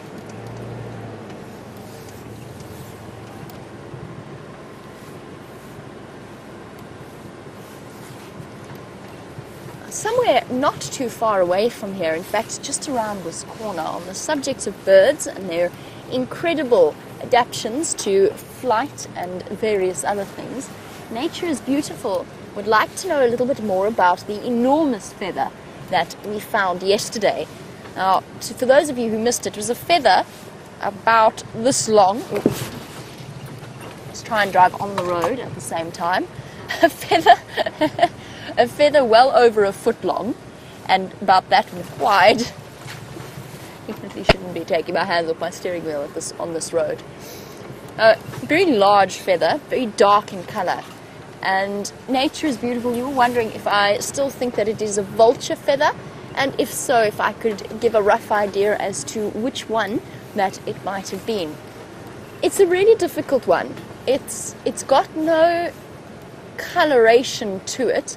Got no differences in color, it's got no indicator as to what it might be. It's just a kind of uniform dark brown color, dark brown, almost gray color.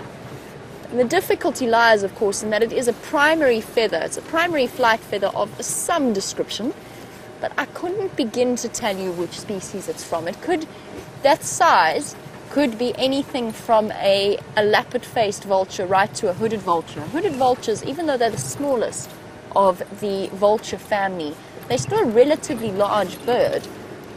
And quite large and quite powerful, and their flight feathers are relatively broad.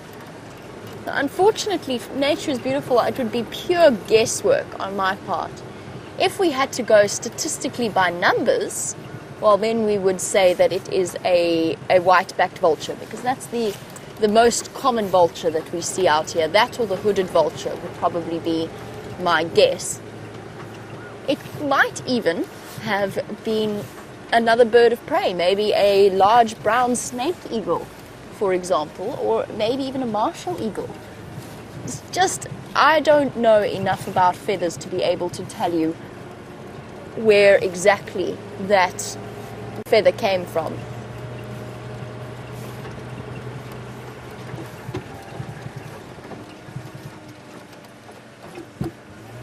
To double check what's sitting on top of that termite mound.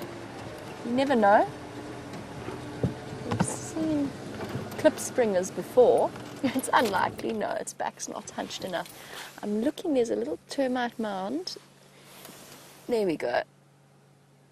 Is that even anything? Is that an antelope of some description?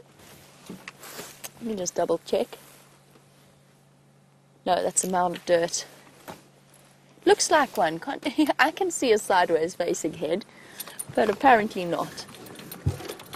It's because Brent put that picture up of a Sharpe's grysbok this morning, making me want to find one of the more unusual of the little antelope. One thing about that feather that I did do was I absolutely came home, straight home, and washed my hands immediately after touching it. And that's because I do think that it might be a vulture feather. Vultures, as you know, not exactly known for their hygiene. Although they do go and they do wash themselves in rivers after feeding on a kill, to be honest, the thought of of where that vulture might have been and what might be on that feather sort of put me off a little bit in terms of touching it. So I did go and wash my hands straight away. There are certain germs out here that one really doesn't want to be exposed to, and in this dry season in particular, vultures can be one of the main spreaders of anthrax. If they feed off a carcass that has been killed due to anthrax. What they often do, because as I said, they're not the most hygienic of things, but they do often go and bathe in rivers and water holes after they've fed off a carcass. And what they'll do is they'll go and they'll actually transfer the anthrax spores into a river or a, a dam. It's very unusual, of course, to have an anthrax outbreak or it used to be in the last few years, but as it starts to get more and more dry, we're going to, I would say, we're going to start seeing more cases of anthrax. It's a naturally occurring disease, it's a naturally occurring bacteria out here. In its own way, it's a very clever bacteria in the way in which it operates. The fact that those spores can stay inactive and yet still come back to life after decades worth of sort of torpor underneath the soil, completely inactive for days and days at a time, is something that I find incredible, yet also slightly scary. Interesting track here for you, if I can just find a good example.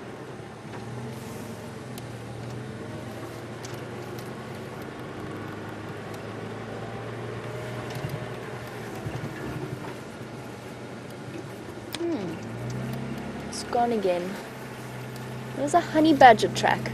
Unfortunately, I only saw it at the last moment as my wheel went over it.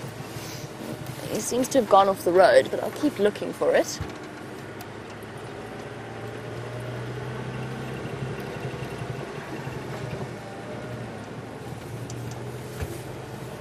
And on the subject of things that are likely or unlikely during this drought, Kyle, good morning and welcome to the Sunrise Safari. You wanted to know whether I think it will be more likely that we'll see a brown hyena this year due to the lack of rain. I'm just thinking about it. I don't think so, no. I think that it will remain equally likely at any time of year. The thing is, for a brown hyena, brown hyenas thrive in desert situations, in arid situations. They're much more common up towards the Kalahari, towards the Namibian side of southern Africa, Botswana. You're far more likely to see them around those sorts of areas, and that is because they are even better than their spotted hyena cousins, which aren't too bad themselves, at coping with drought situations. It remains a fact that this particular area is not ideal habitat for a brown hyena. They like those rocky creviced areas. They like to build their den sites there. And they also prefer not to be around a high density of lions and spotted hyenas because they're outcompeted by both of those animals. Unfortunately, Kyle, I don't think that that particular animal, or I don't think that the drought will increase our chances of seeing that particular animal. However, there are other animals that we would, that there is an increased chance of seeing. Something, for example, like a sable, which we've touched on before. The possibility that with limited water access points and limited access to food, the sable might decide to start moving back in our direction. And of course, the first sable in 17 years was seen on the Djuma Dam camera not too long ago. That being said, Kyle, it doesn't necessarily mean that we won't ever see a brown hyena. They have been seen once before. Now, it could always happen. You might get a nomadic individual searching for a territory or searching for mating opportunities. Hmm, that's awfully inconvenient. We must have just missed them. I've been tracking them the whole time. There's a herd of elephants in this block, but they are not very easy to spot despite being absolutely enormous. At the moment, the only view I can get is, I think, that one, which is not very good. Let me try going back a little bit, maybe that will work. She's not even moving towards us. There she goes. And something's upset this elephant herd because while I've been checking around in Impala Plains, oh, she's got a tiny, weeny little baby. It's impossible for you to see, though, unfortunately, right in the thick vegetation. But something has upset them. I think probably the presence of those big bulls pushing behind them. But they've been exceptionally vocal. And as Brent described in his video that he posted on Facebook, generally what upsets elephants is other elephants.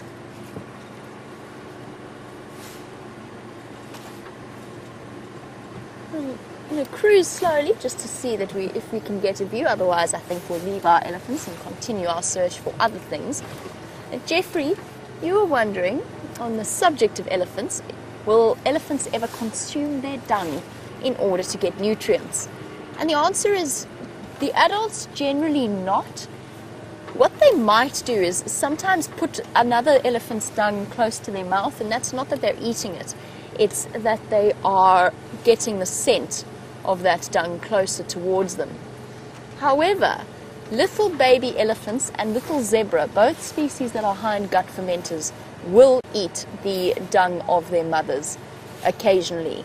And that's to transfer the antibodies that they need so they don't just get it from her milk, they will also get it from eating her dung through coprophagy, as well as getting enzymes, apparently, although I struggle to see how on earth an enzyme, this is something I've read, that apparently they get enzymes through their mother's dung. I cannot work out how an enzyme, which is a protein that denatures at the drop of a hat, how on earth they get enzymes and ingest them and that it survives their stomach acid. But that's apparently one of the theories is that they get enzymes as well. I struggle with that a little bit. And a lovely bachelor herd of impala. As you can see, something has attracted their attention. In this case, unlike this morning when I'm pretty sure they were alarm calling it another impala in the low light, or maybe a hyena out of confusion, They've just been looking at the elephants that are moving through. A group of young bachelors, all at different ages, right through from two until almost fully grown, in the case of the one ram, just at that stage where his horns are starting to take their upward curve and almost, almost reaching their full adult shape. He will be about three or so years old. The other reason that I've come along here, apart from the constant quest for good signal areas, is because this is where Karula's tracks last were seen. We haven't worked out where she's gone, as far as I know. And we're going to do a good check around Treehouse Dam and those sorts of areas, since we know that she likes it there.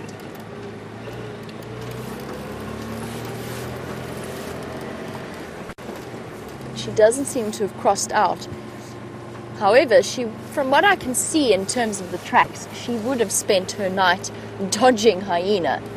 I don't know what occurred in the hyena world last night, but something got them interested and excited about racing around and sniffing all of the different areas. Don't know if it was a a strange hyena entering their territory, perhaps, or that theory that there was a hyena skirmish last night, I think, is also a very good one. Their tracks are just crisscrossing all the way through. While we head to the southern boundary of Djuma. let's travel all the way to the southeast, right up to the Kruger National Park boundary on its fantastic 90th birthday, and find out what Brent is doing on Cheetah Plains.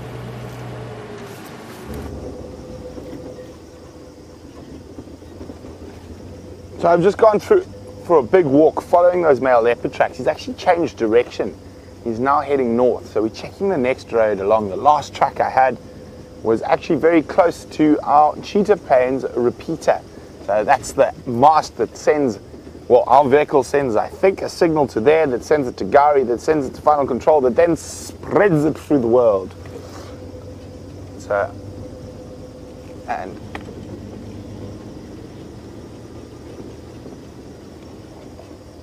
sorry guys, just need to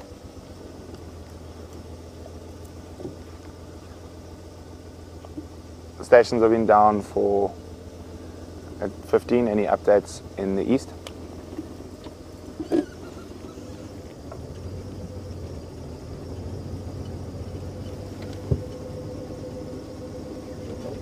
Sorry guys, just need to check in. Ah, sounds like nothing further. Gonzova Wanunengwe heads off central towards Owl's Nest in the block, following up. Okay, back with you now.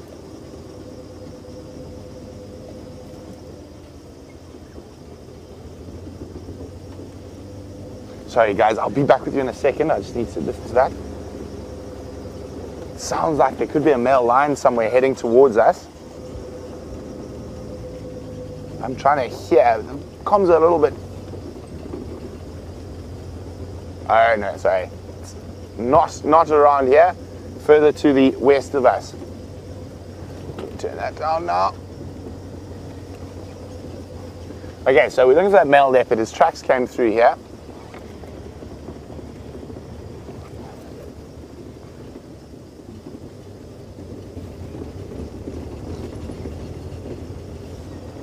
Okay. So don't have any tracks of him yet. It's possible that he's maybe got a kill or something inside this block. It's quite a big block, quite a thick block. So while I, I'm not only looking at the ground for tracks, I'm also checking any prominent tree in case he might have some meat in it.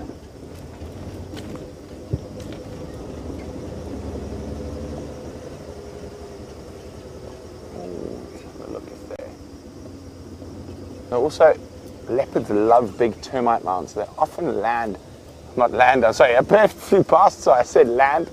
Um, but sit on top of these termite mounds and, and check what's going on around them. It's always good to just double check. They like to lie low on top of them, so their head actually just looks like a column from the termite mound. And if any unsuspecting impala or duiker or steenbok happens to wander nearby, it becomes a dinner. Okay, so it's not only about the lions and leopards, of course, there are lots of different creatures for us to show you out here. And uh, it's, it's not something you see too often, a flock of birds, but they just keep keeping ahead of us. I'm just going to try stop a little bit further away. Just find David Gap through the trees. I think it's coming up now. There we go. So in the top of that marula tree, normally, oh, there goes one, there's still another. Um, to the left and zoom a little bit higher. There we go. There's some African hoopoes. Now, this is quite a big flock. Normally, you see them individually, but there's, oh, off one goes. There's another still to the right and above. Oh, there's another three or four up there. So there we go. African hoopoes.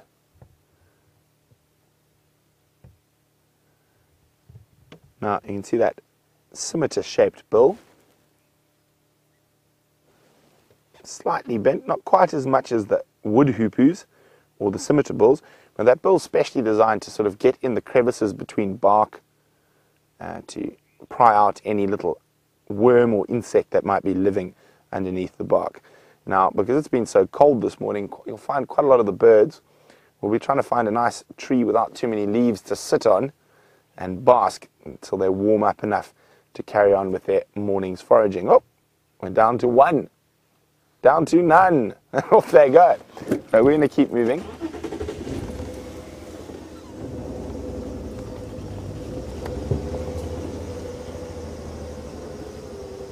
So while we keep scouring this area for that male leopard, let's go see what Jamie's up to back in the northwest.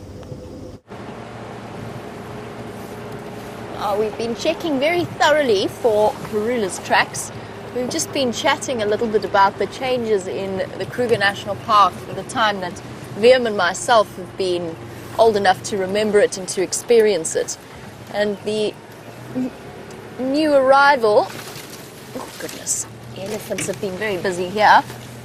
The new arrival of a series of chains, chain restaurants at the various rest camps, and we're trying to discuss whether or not it is a good thing or a bad thing. It's everywhere, sort of in the southern and the central section, that has it. We've decided that we quite enjoy it, and although the rustic and rural theme was very pleasant in its day, it is very nice to get hold of exceptionally good food and very friendly service.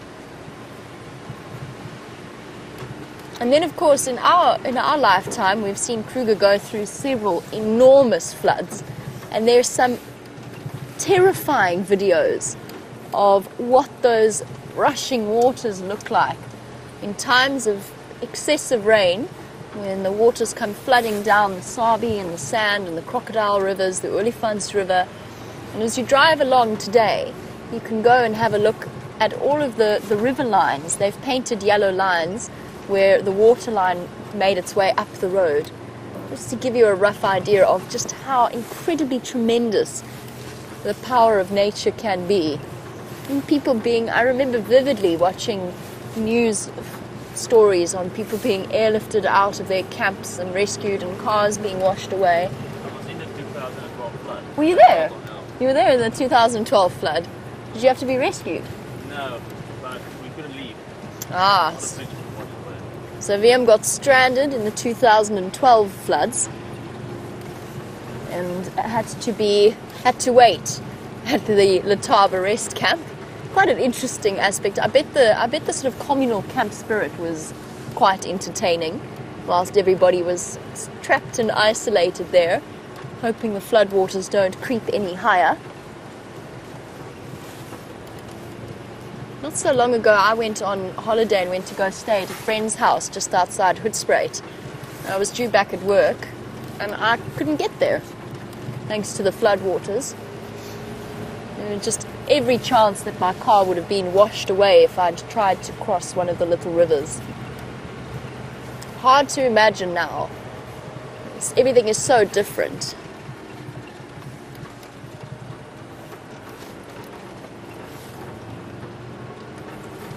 Aaron, apparently you were answering a question, or Brent answered your question about what your favorite, what his favorite memory is of Kruger, and you were wondering what mine might be. There's a cuckoo there. Sorry. Aaron, we will be there in one second. It's a cuckoo we don't often see, so we are going to try and look at it, even if our camera doesn't quite compare to the one. He is in the Weeping Wattle Wium. If we go little bit to the right, oh, we got him there. Oh, there. There we go. And he was being mobbed by starlings. This is always an incredible type of behavior to witness. Let's see which one it is. It looks like a jack. Oh, no, it's a Levaillant's or a Levaillant's cuckoo, or previously known as a lesser striped. Don't often get to see cuckoos at least at this time of year, especially because they're quite shy birds and they've all gone very quiet since it's outside of breeding season. That is a lesser striped or Levaillant cuckoo. Told apart from the told apart, told is not really a word, told apart from the Jacobin cuckoo, which is very, very similar in terms of size, shape, and color, but it has more in the way of barring, sort of black stripes on its chest. And the reason it was being chased by starlings, and that's actually why I stopped, I thought that they might continue to try and chase it, was because that is the natural instinct of the various bird species out here, and you'll probably find that the Levaillant's cuckoo does parasitize starlings in particular. I know that the greater spotted cuckoo also parasitizes starlings.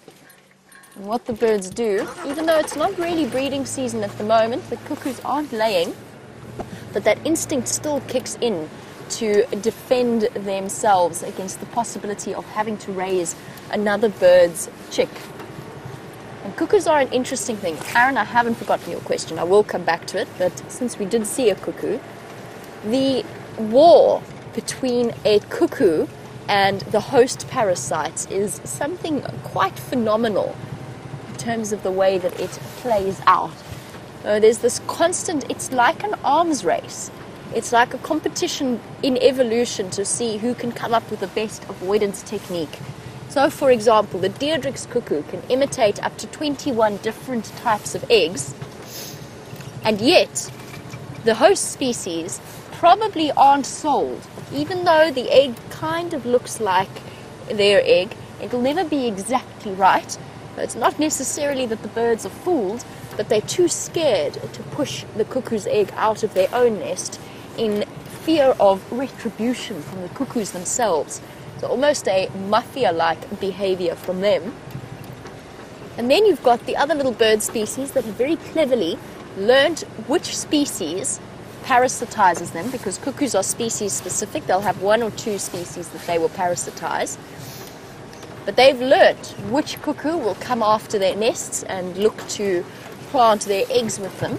And in retaliation, something like a white-browed scrub robin, for example, what they will do is they have what they have learned is to imitate the call of that particular cuckoo and very, very loudly.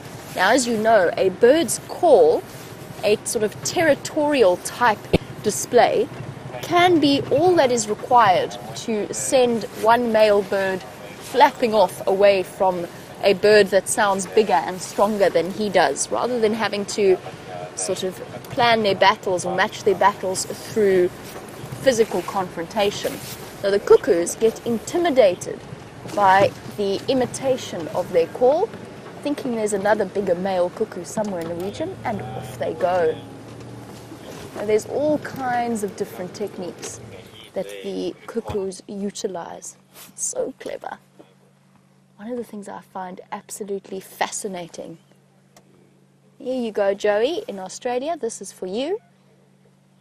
You wanted to see a kudu, and we have provided in spectacular style. Isn't he just gorgeous? His coat shining in the sun, and those enormous spiraling horns.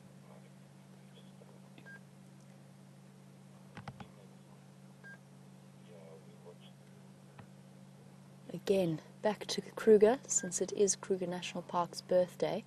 Those of you who do go to visit, pay a visit to Skukuza's sort of central area and have a look at the huge statue that they have up in the center there. It's of two kudu engaged and locked in a battle with their horns stuck together. And I, that to me is one of my most vivid memories of Kruger is standing looking at that statue as a child. And Aaron, just to bring us back to my favorite Kruger story, I'm still trying to decide which one is my favorite, but I have a very early memory of standing at that statue and looking at those kudu and being enthralled by that.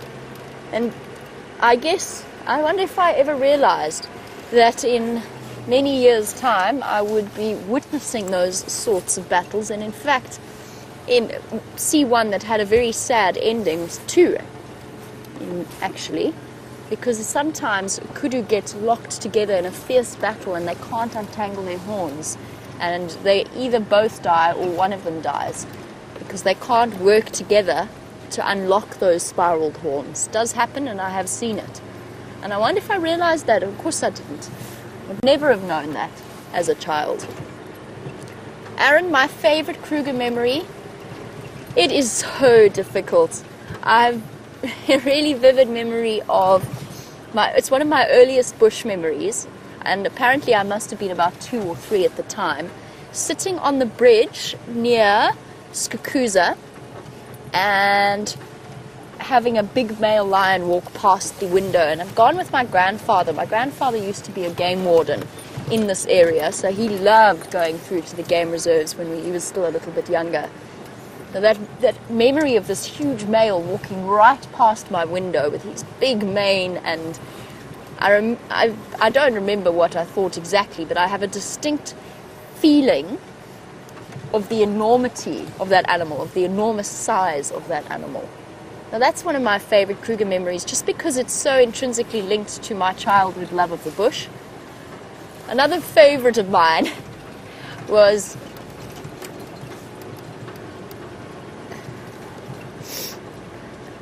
oh, uh, another another favorite of mine in terms of childhood Kruger memories. It's so hard to pick, but was coming around the corner, racing around the corner, trying to get back to the gates before they closed, and being met with this enormous bull elephant who clearly wanted to come down the road towards us. We had very little space to pull us pull to the side to let him come past. And I remember my mom getting distinctly stressed at the prospect of us being flipped over by an elephant because of course at this stage not entirely sure how to handle the situation. So we did a very rapid reverse and my mom showed some impressive almost rally like driving skills in her ability to drive around corners backwards. I remember my cousin screaming and my little brother fast asleep in the seat. He was about he was a baby then. But Aaron, if I had to tell you my favorite memory, it's a little bit corny, but I have to say that I think some of the trips that I've done with Brent, especially our recent one, would probably be high up there in my favorite Kruger memories. We went right up to the northern area of Kruger, up to Pafuri, and we're out at the park gate at the opening time. And we drove around, we didn't we only saw one other person who was an older gentleman who was clearly just there enjoying the bird life. But we drove through, it's beautiful. We hardly saw, we didn't really see anything that people would traditionally think of as exciting. But we did have an absolutely amazing time. We saw eland and herds of buffalo streaming out of the Luvuvhu River forest, those fever tree forests, and it was just a thoroughly pleasant experience.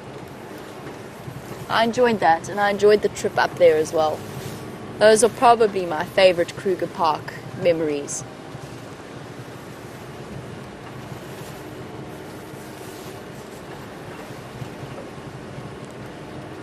We also did a wonderful trip, Brent, myself, and Andrew as well, which was very entertaining. No sign of Karula coming out here. I wonder where she disappeared off to last night. While we try and figure that out, let's head back across to Brent for an update on Cheetah Plains.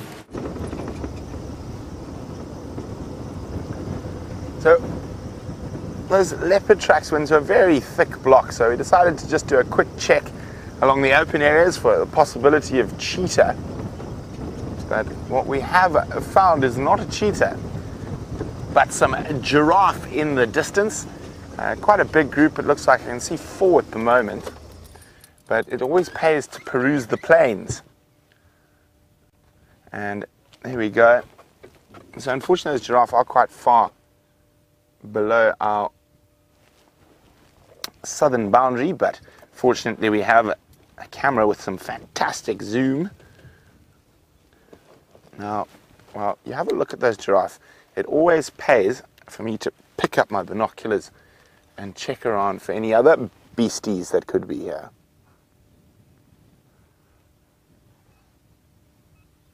Now, often the cheetah will lie so flat to the ground you can barely see them.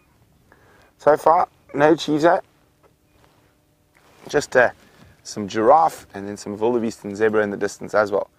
So it looks like Gnorman, who wasn't here yesterday, has uh, got some girlfriends off to the southwest of us. So there we go. They're quite far away, but there we go. Yeah, wildebeest and zebra.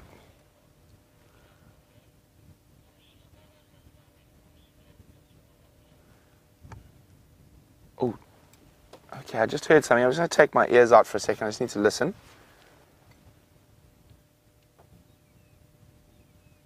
Could we be that lucky? I, I thought I heard a wild dog contact call. Ooh, ooh, ooh, ooh. Coming from around the Kruger boundary. Just once. Well, let's leave these long distance zebra, wildebeest, and giraffe, and let's head east towards the Kruger boundary. And uh, we can also wish Kruger a happy birthday in person.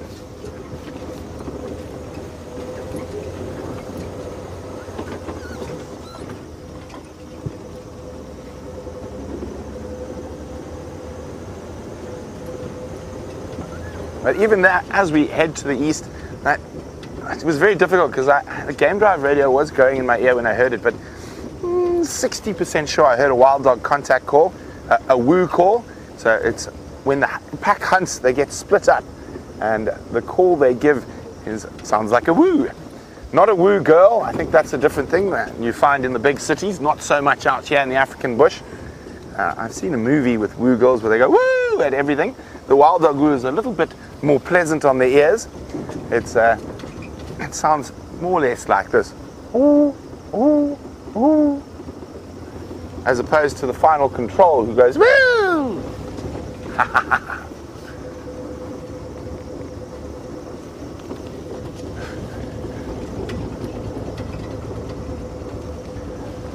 now, even though we're heading there, it's always worth double checking in any little bit of shade out in these open areas for those male cheetah. They haven't been seen in a while.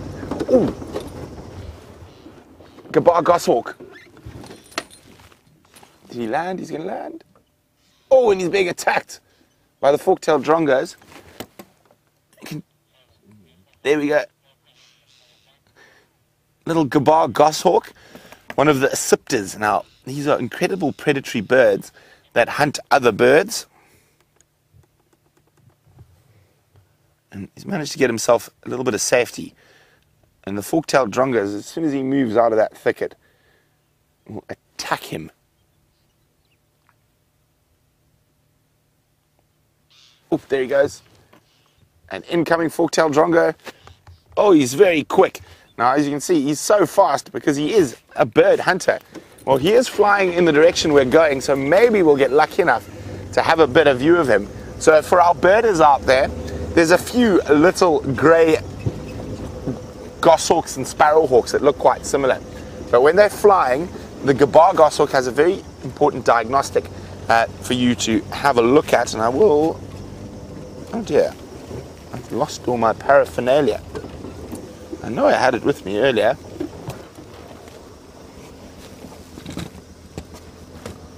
Very strange indeed.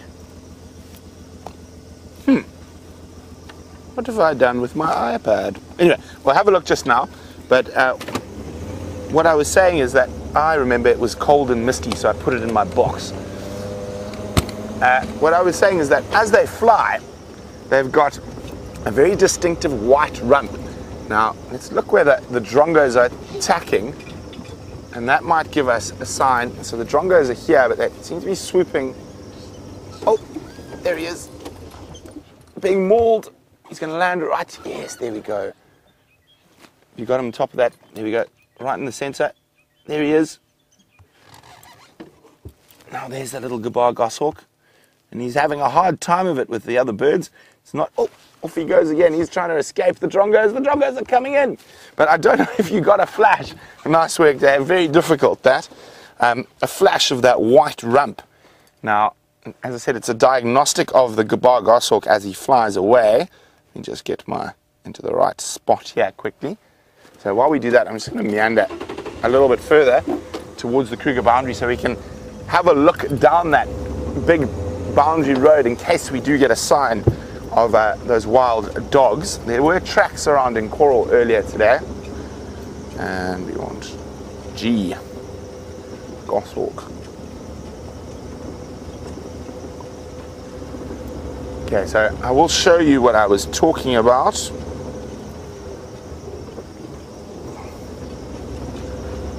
There we go. So we did have a, what sounded to be a contact call of wild dogs. I had the radio in my ear, so I'm not 100% sure. I'm about 60% sure. There's very little else in the bush that sounds like that that call. Okay, so we're on the Kruger boundary now. Just want to check. We can see quite long way either direction here. So just having a quick look. And while we do that, let me see, there we go.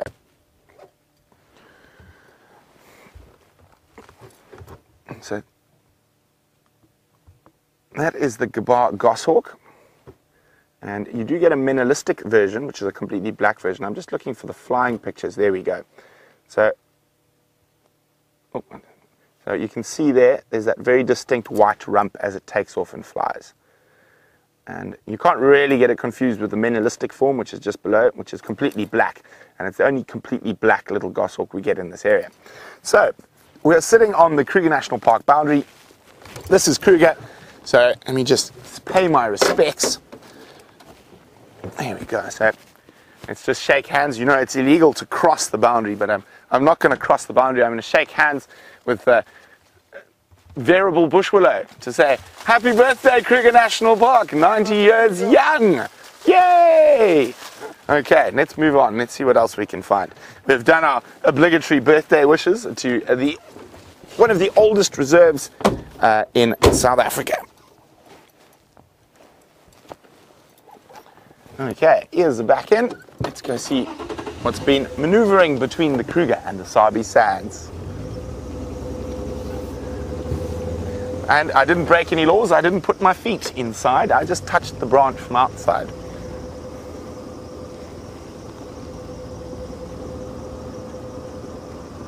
So it's always incredibly interesting to move down this area because you never know what could be coming in, and we don't know what's on that side. And that's why I always get quite excited coming through here. And of course, there's always a chance that we might find the pangolin again. So just over this ridge is where Dave and I saw that female pangolin.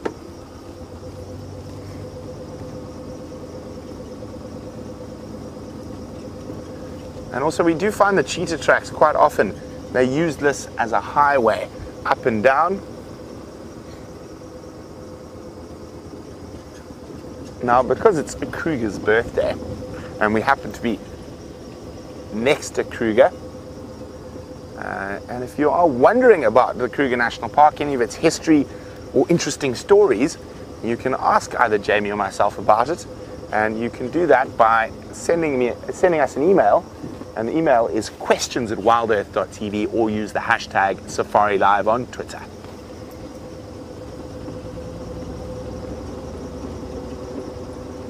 So, here we go. I would have guessed that wild dog contact call was somewhere in this region, if it indeed was a wild dog contact call. Unfortunately, my gut tells me it was saying happy birthday to Kruger. So outside of our Traverse area. I'm just trying to find some tracks to confirm.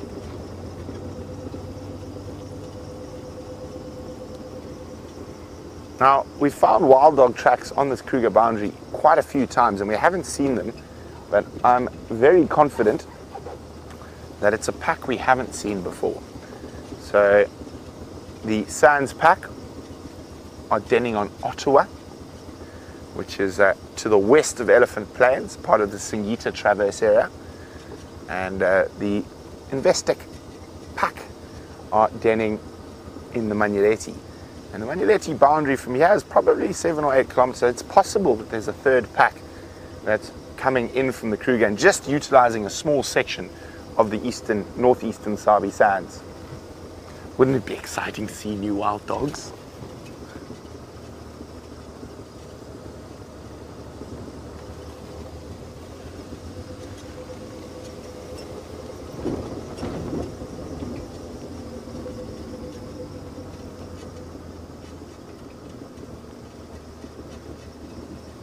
It is possible that they crossed back into Kruger beyond our boundary. The tracks were in coral this morning, and I haven't seen any tracks on cheetah plains yet.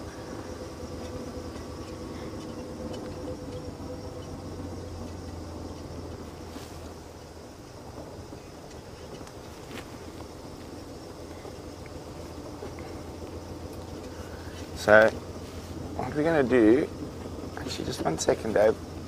Just, I'm going to stop on top of this little rise here.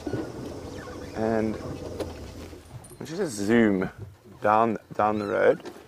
A little bit to the zoom again. Or down a bit. No, it's just a branch. Sorry, guys. Thought I saw something in the shade there. Well, Edmund is wondering what is the rarest bird in Kruger? Well, there's a couple of rare residents, but the really rare birds for Kruger are the migrants, or no, sorry, not migrants, the vagrants. So animals or birds that are not normally found within that area that arrive every now and then. And there was one I looked for a lot, but unluckily I didn't find it. I have seen them outside of South Africa, I've seen them in East Africa, and it's a very interesting story because they used to nest um, in Hluhluwe-iMfolozi in Zululand, Namibia, and in Kruger, and then something changed and they disappeared. And every now and then, uh, a vagrant just arrives, and it's an Egyptian vulture. So there we go. There we, Egyptian vulture, and it's normally an immature one that arrives down here, very lost. But as it says here, the status in South Africa uncertain. Uh, there's a few records in the recent past, possibly an intra-African migrant or Palearctic migrant. There's a used to be, was there, the resident population in South Africa possibly extinct or almost extinct.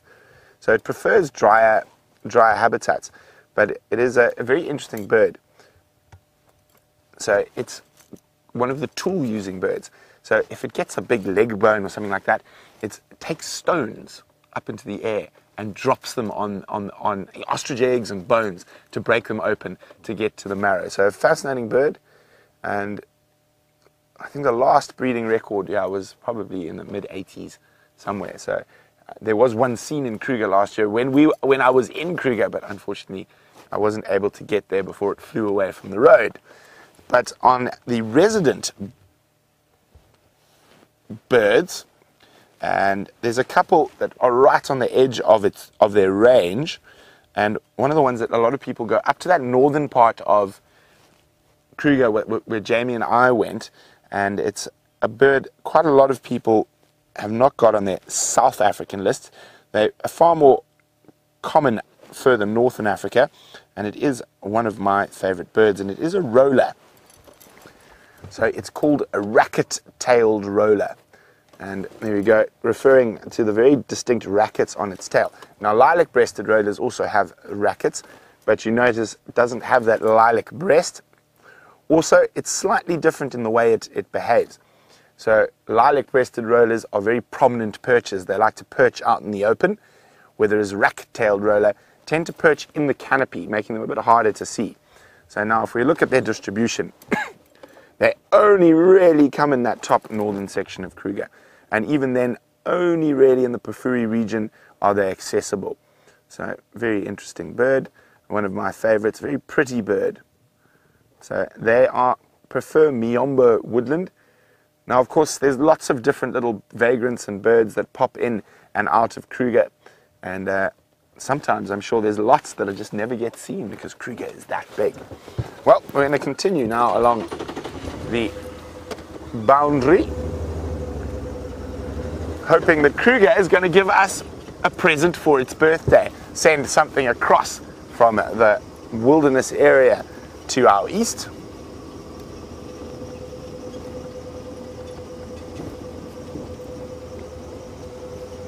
So if we get no luck in this area, we're going to start meandering back towards those Styx lionesses and see if they've moved.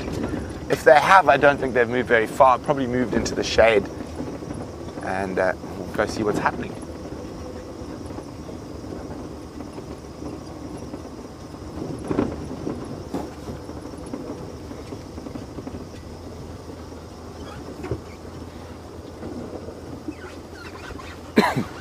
So there was very sad news recently. Uh, quite a large pack of wild dogs were, were expired due to canine distemper, and Anna Marie's wondering, weren't they in the Kruger Park? They were, not close to us, fortunately, uh, Anna Marie. Oh, we're causing a traffic jam here. Sorry about that. Looks like the Kruger guys. Sorry about that. Hi, how you guys doing? Uh, we're from, well, we're based at Djuma. We're actually streaming live safaris for uh, on the National Geographic website. So Cheetah Plains is part of our Traverse area. Yes. From Cheetah Plains.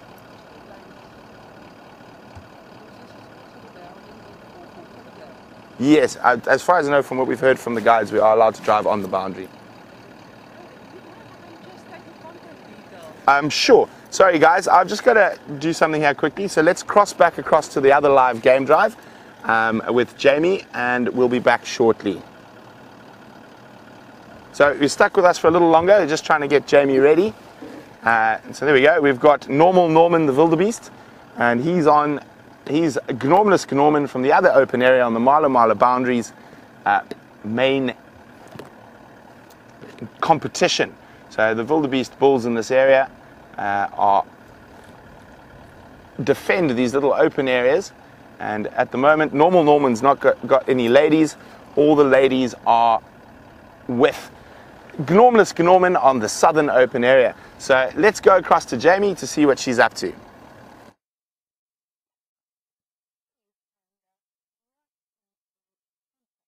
Drainage line at the moment between Treehouse Dam and Twin Dams Road. And we're looking here very, very carefully for any tracks of Karula moving down this road. It's usually the route that she takes from Djuma down towards, or south. Down is not really the correct terminology, but south towards Cheetah Plains. It's a fascinating little ecosystem, a drainage line like this. Lots and lots of tambuti trees, and then also one of my favorite trees, which is the leadwood. Got a young one up there, and I say young it's probably a good few decades old. But they can live well into the 500, 600 years old. Just like those incredible redwood trees that are thousands of years old in North America. We've just been doing some behind the scenes filming, and while we've been doing that, I've just been thinking about what it is that makes the Kruger National Park so special to us. And perhaps why it is that the we might go through a bit of a signal dip here. I'm just trying to think which be the best way for me to go. Frozen in time. Uh, we'll try it. We'll try it. We're going up the hill. It might work out quite well. And I think it's the wonderful thing about the Kruger National Park and what makes it so hard to choose one's favorite memory is that for for most of us, we've been fortunate enough to travel there throughout our lifetime. So it's kind of been a sort of a, a constant experience that's been shared with different special people in all of our lives. That is a perhaps what is or what makes it the most tricky to figure out exactly what our favorite memories really are. Now there's some zebra alarm calling. Yip, yip, yip, yip. Just around to the other side of this road. So let's go find out. We'll see if we can find out what's got them so upset. Ooh. Come on, Wendy, you can do it.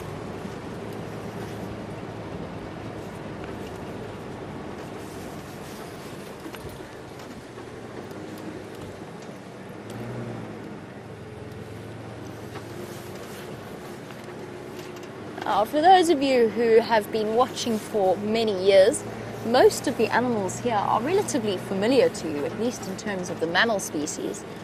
Angie wants to know whether or not, or how often, new species are found. The answer to that, Angie, is there's always new species of insect being found and classified, some that are familiar but are reclassified into different family groups. And I think that that's probably the level of exploration that we've hit. I think we know all of our mammal species out here. Some might be in unexpected places at unexpected times, but we are familiar with all of the different animal species that we get here. Or mammal species. Insects, on the other hand, as you know, we've got a sort of a constant scientific exploration throughout the world of the different beetle, insect, arthropod, arachnid species, and they're constantly being reclassified and discovered at the same time. And who knows?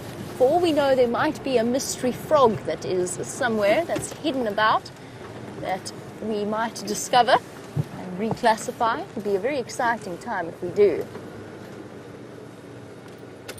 Yellow-billed hornbill cleaning his bill, but just beautifully lit in this morning light. Half of the attraction, I think, in spending time out here is actually just the constant learning. And Angie, it's less, for us, I think it's less about the new species, since we're familiar with most of them, but more learning different things about the different animals. In the way that these yellow-billed hornbills nest in their sheltered holes in a tree, and a male like this one being completely responsible for keeping his mate fed during her time of confinement in the nest hole. She loses her primary feathers, her flight feathers, and she is completely reliant upon his care. And just the general rediscovery of the different ways in which we understand the animals that we surround ourselves with. Wild dogs, for example, I still think that we're learning day by day about the complexities of their packs. And most definitely for me, the, one of the most exciting is learning more about spotted hyenas through observation. And sometimes I just wish that there were more hours in the day to spend following them around and trying to interpret exactly what it is that's happening within their little groups, within their packs. The intricacies, it almost becomes like a, a soap opera in a way, but it's more about figuring out who is who and where each hyena falls in that complex society, and at the same time how it differs from other hyena groups that have been extensively studied in parts of Botswana and then towards eastern Africa in Tanzania, because there have to be differences. It's a completely different ecosystem, it's a completely different set of environmental circumstances that they have adapted to.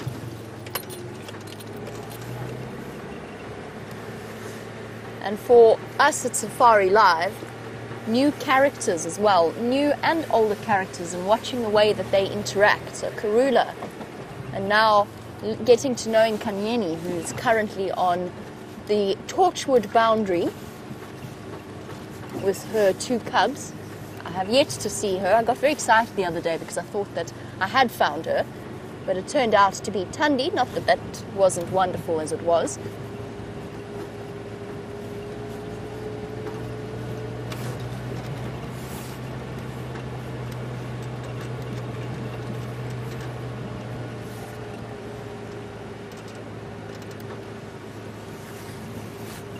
A lovely question coming through from Elizabeth in Santa Monica, who still has faith in us finding her cats, or at least in this case, passing on advice in terms of how to find them.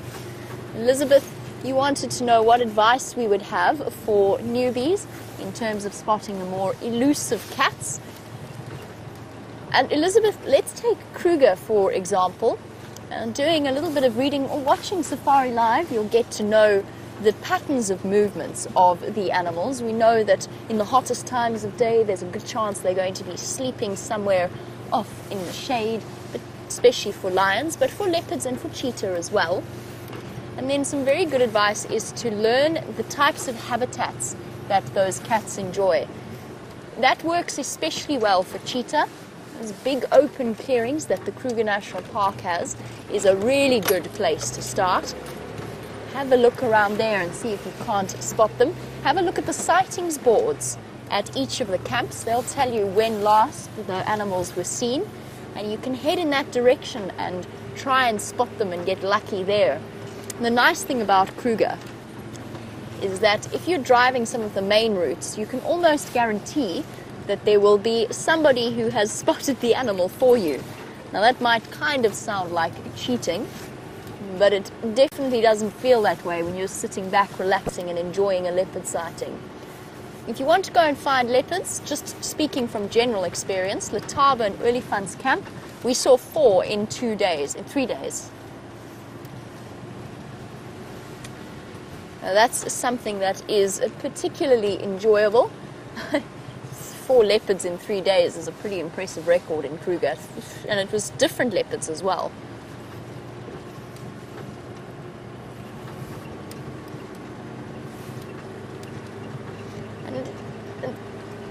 It is both a blessing and a curse in a way that you know that you will always find somebody who has located the sighting before you, especially in the busier areas of Kruger.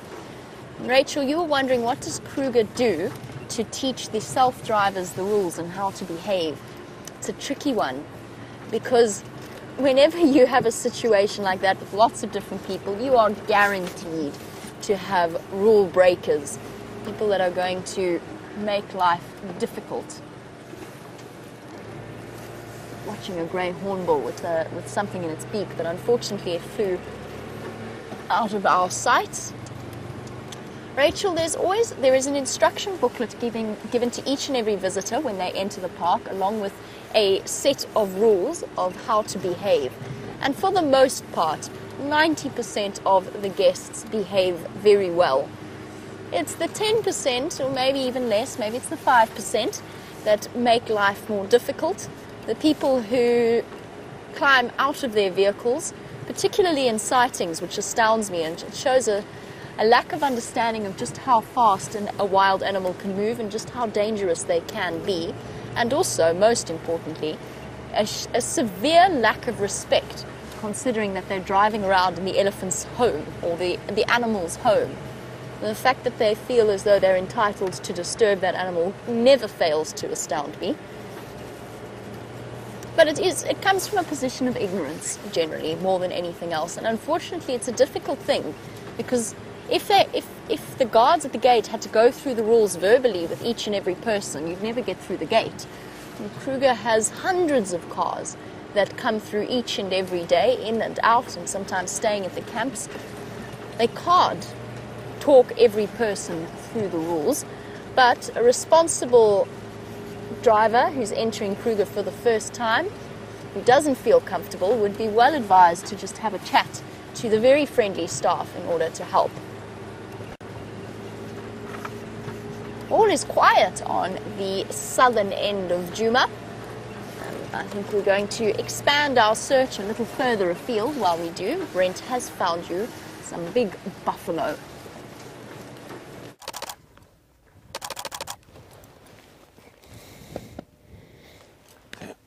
got a smallish herd of buffalo on their way down to the waterhole here at Cheetah Plains. We're on our way back to the Styx Lions, but we just saw this herd meandering across the open area.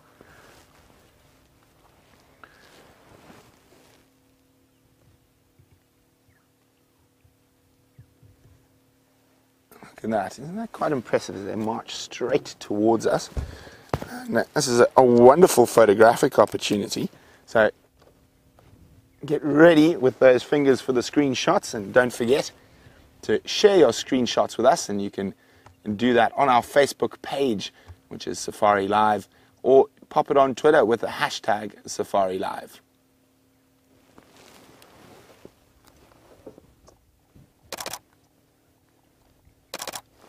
And that click click is me taking a few pictures of this herd as it approaches.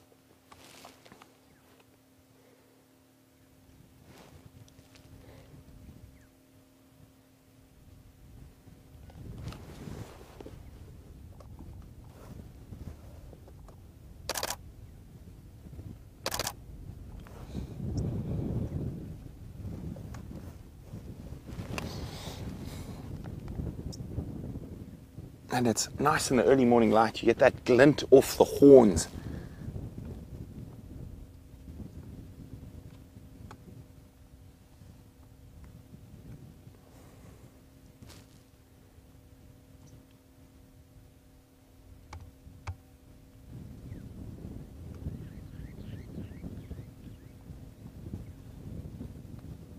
Uh, herds of buffalo generally like to drink twice a day. Once in the morning and, and again towards sunset. So coming down for their morning drink. As it's got warmer, they've probably started moving. They lie up during the cold part of the day. Mm, Probably, how many you reckon, Dave? 50 to 70. Not the biggest herd.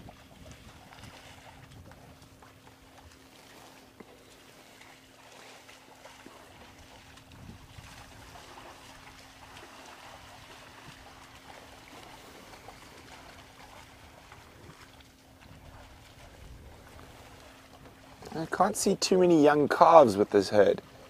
Now, of course, in trying times like we have at the moment, if you're a buffalo with the drought, the young are the first, the young and the old are the first to succumb, and also the first to be eaten by lions.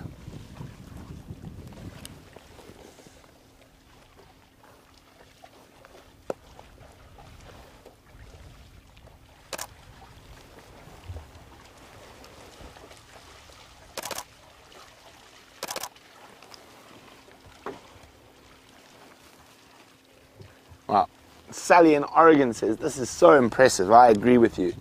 And our timing was impeccable to arrive here as they were about to drink.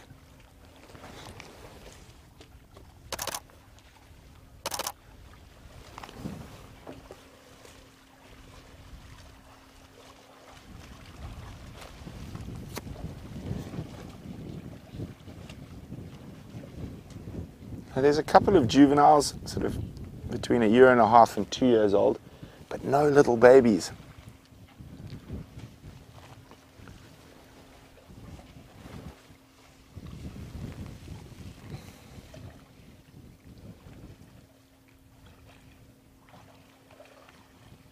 So far, I can't see any that are showing too bad a condition. Now, if we go up a little bit, Dave, to the right slightly. You can see all this impala running. There's also zebra that have arrived behind. Also making their way towards the waterhole as it gets a bit warmer.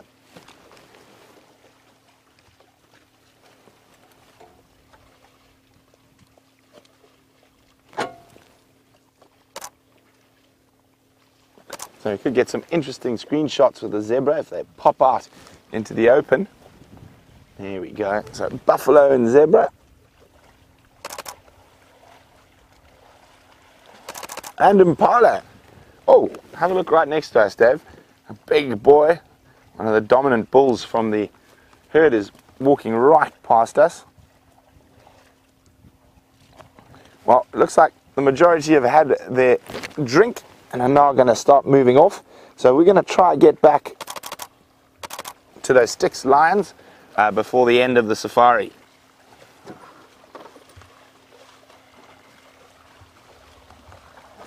So while we do that, let's go see what Jamie's up to.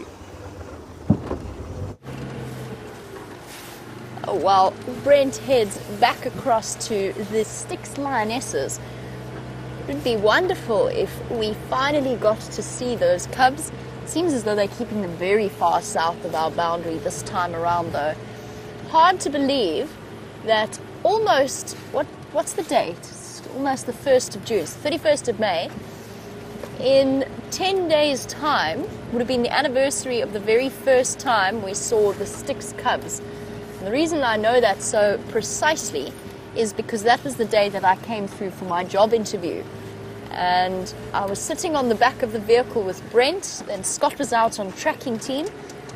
And we got the call through that he had found the Styx cubs at Twin Dams, the first time that they had been, that particular litter had been seen, as far as I know. I remember that feeling of absolute excitement and at the same time sheer knee shaking, teeth chattering terror at the thought of taking over the sighting and taking over the drive halfway through. It was a very interesting experience, and if I recall correctly, which I'm sure I do, despite the fact that most of that is a blur, I stalled the vehicle several times, um, trying to get out of whatever dam Brent had parked. yes! And Kirsty's just reminded me of my next moment of crowning glory, which was before I got used to the immobilizers that we had on the vehicle. Now, one button unlocks the vehicle and allows you to start it. One button causes the vehicle to hoot. And unfortunately for me, as I arrived in that sighting, or as I was repositioning in that sighting, I chose the latter and hooted at the lions. Felt absolutely terrible in my moment of being incredibly flustered. Hard to believe that a year has passed almost since that particular day. I don't remember anything of the afternoon drive at all. I just remember that the day before, Wendy had flames coming out of the back of her, and thus we were down, very much down, to one vehicle. It was before the days that Rusty arrived, so it was just Jigger out. And I remember that sighting, that the Styx female calling her cubs towards them. It was absolutely magical. Hopefully, we will see a repeat of that scene in the not too distant future, either with the Styx Cubs or with our brand new set of Nkuhuma Cubs. And fortunately for those Cubs, yesterday, the Birmingham boys, from what we can understand and from what we, what the other guides saw from the tracks on Torchwood, the Birmingham boys, there was no fight between Junior and the Birmingham boys, but it looks as though they did chase him or he did run from their presence. So Junior being the young Nkuhuma male that suddenly made a reappearance with the rest of his pride. And the Birmingham boys did their job and protected their cubs from the intrusion, for them, an intrusion of an unknown male. Or maybe known to them, but certainly not welcome.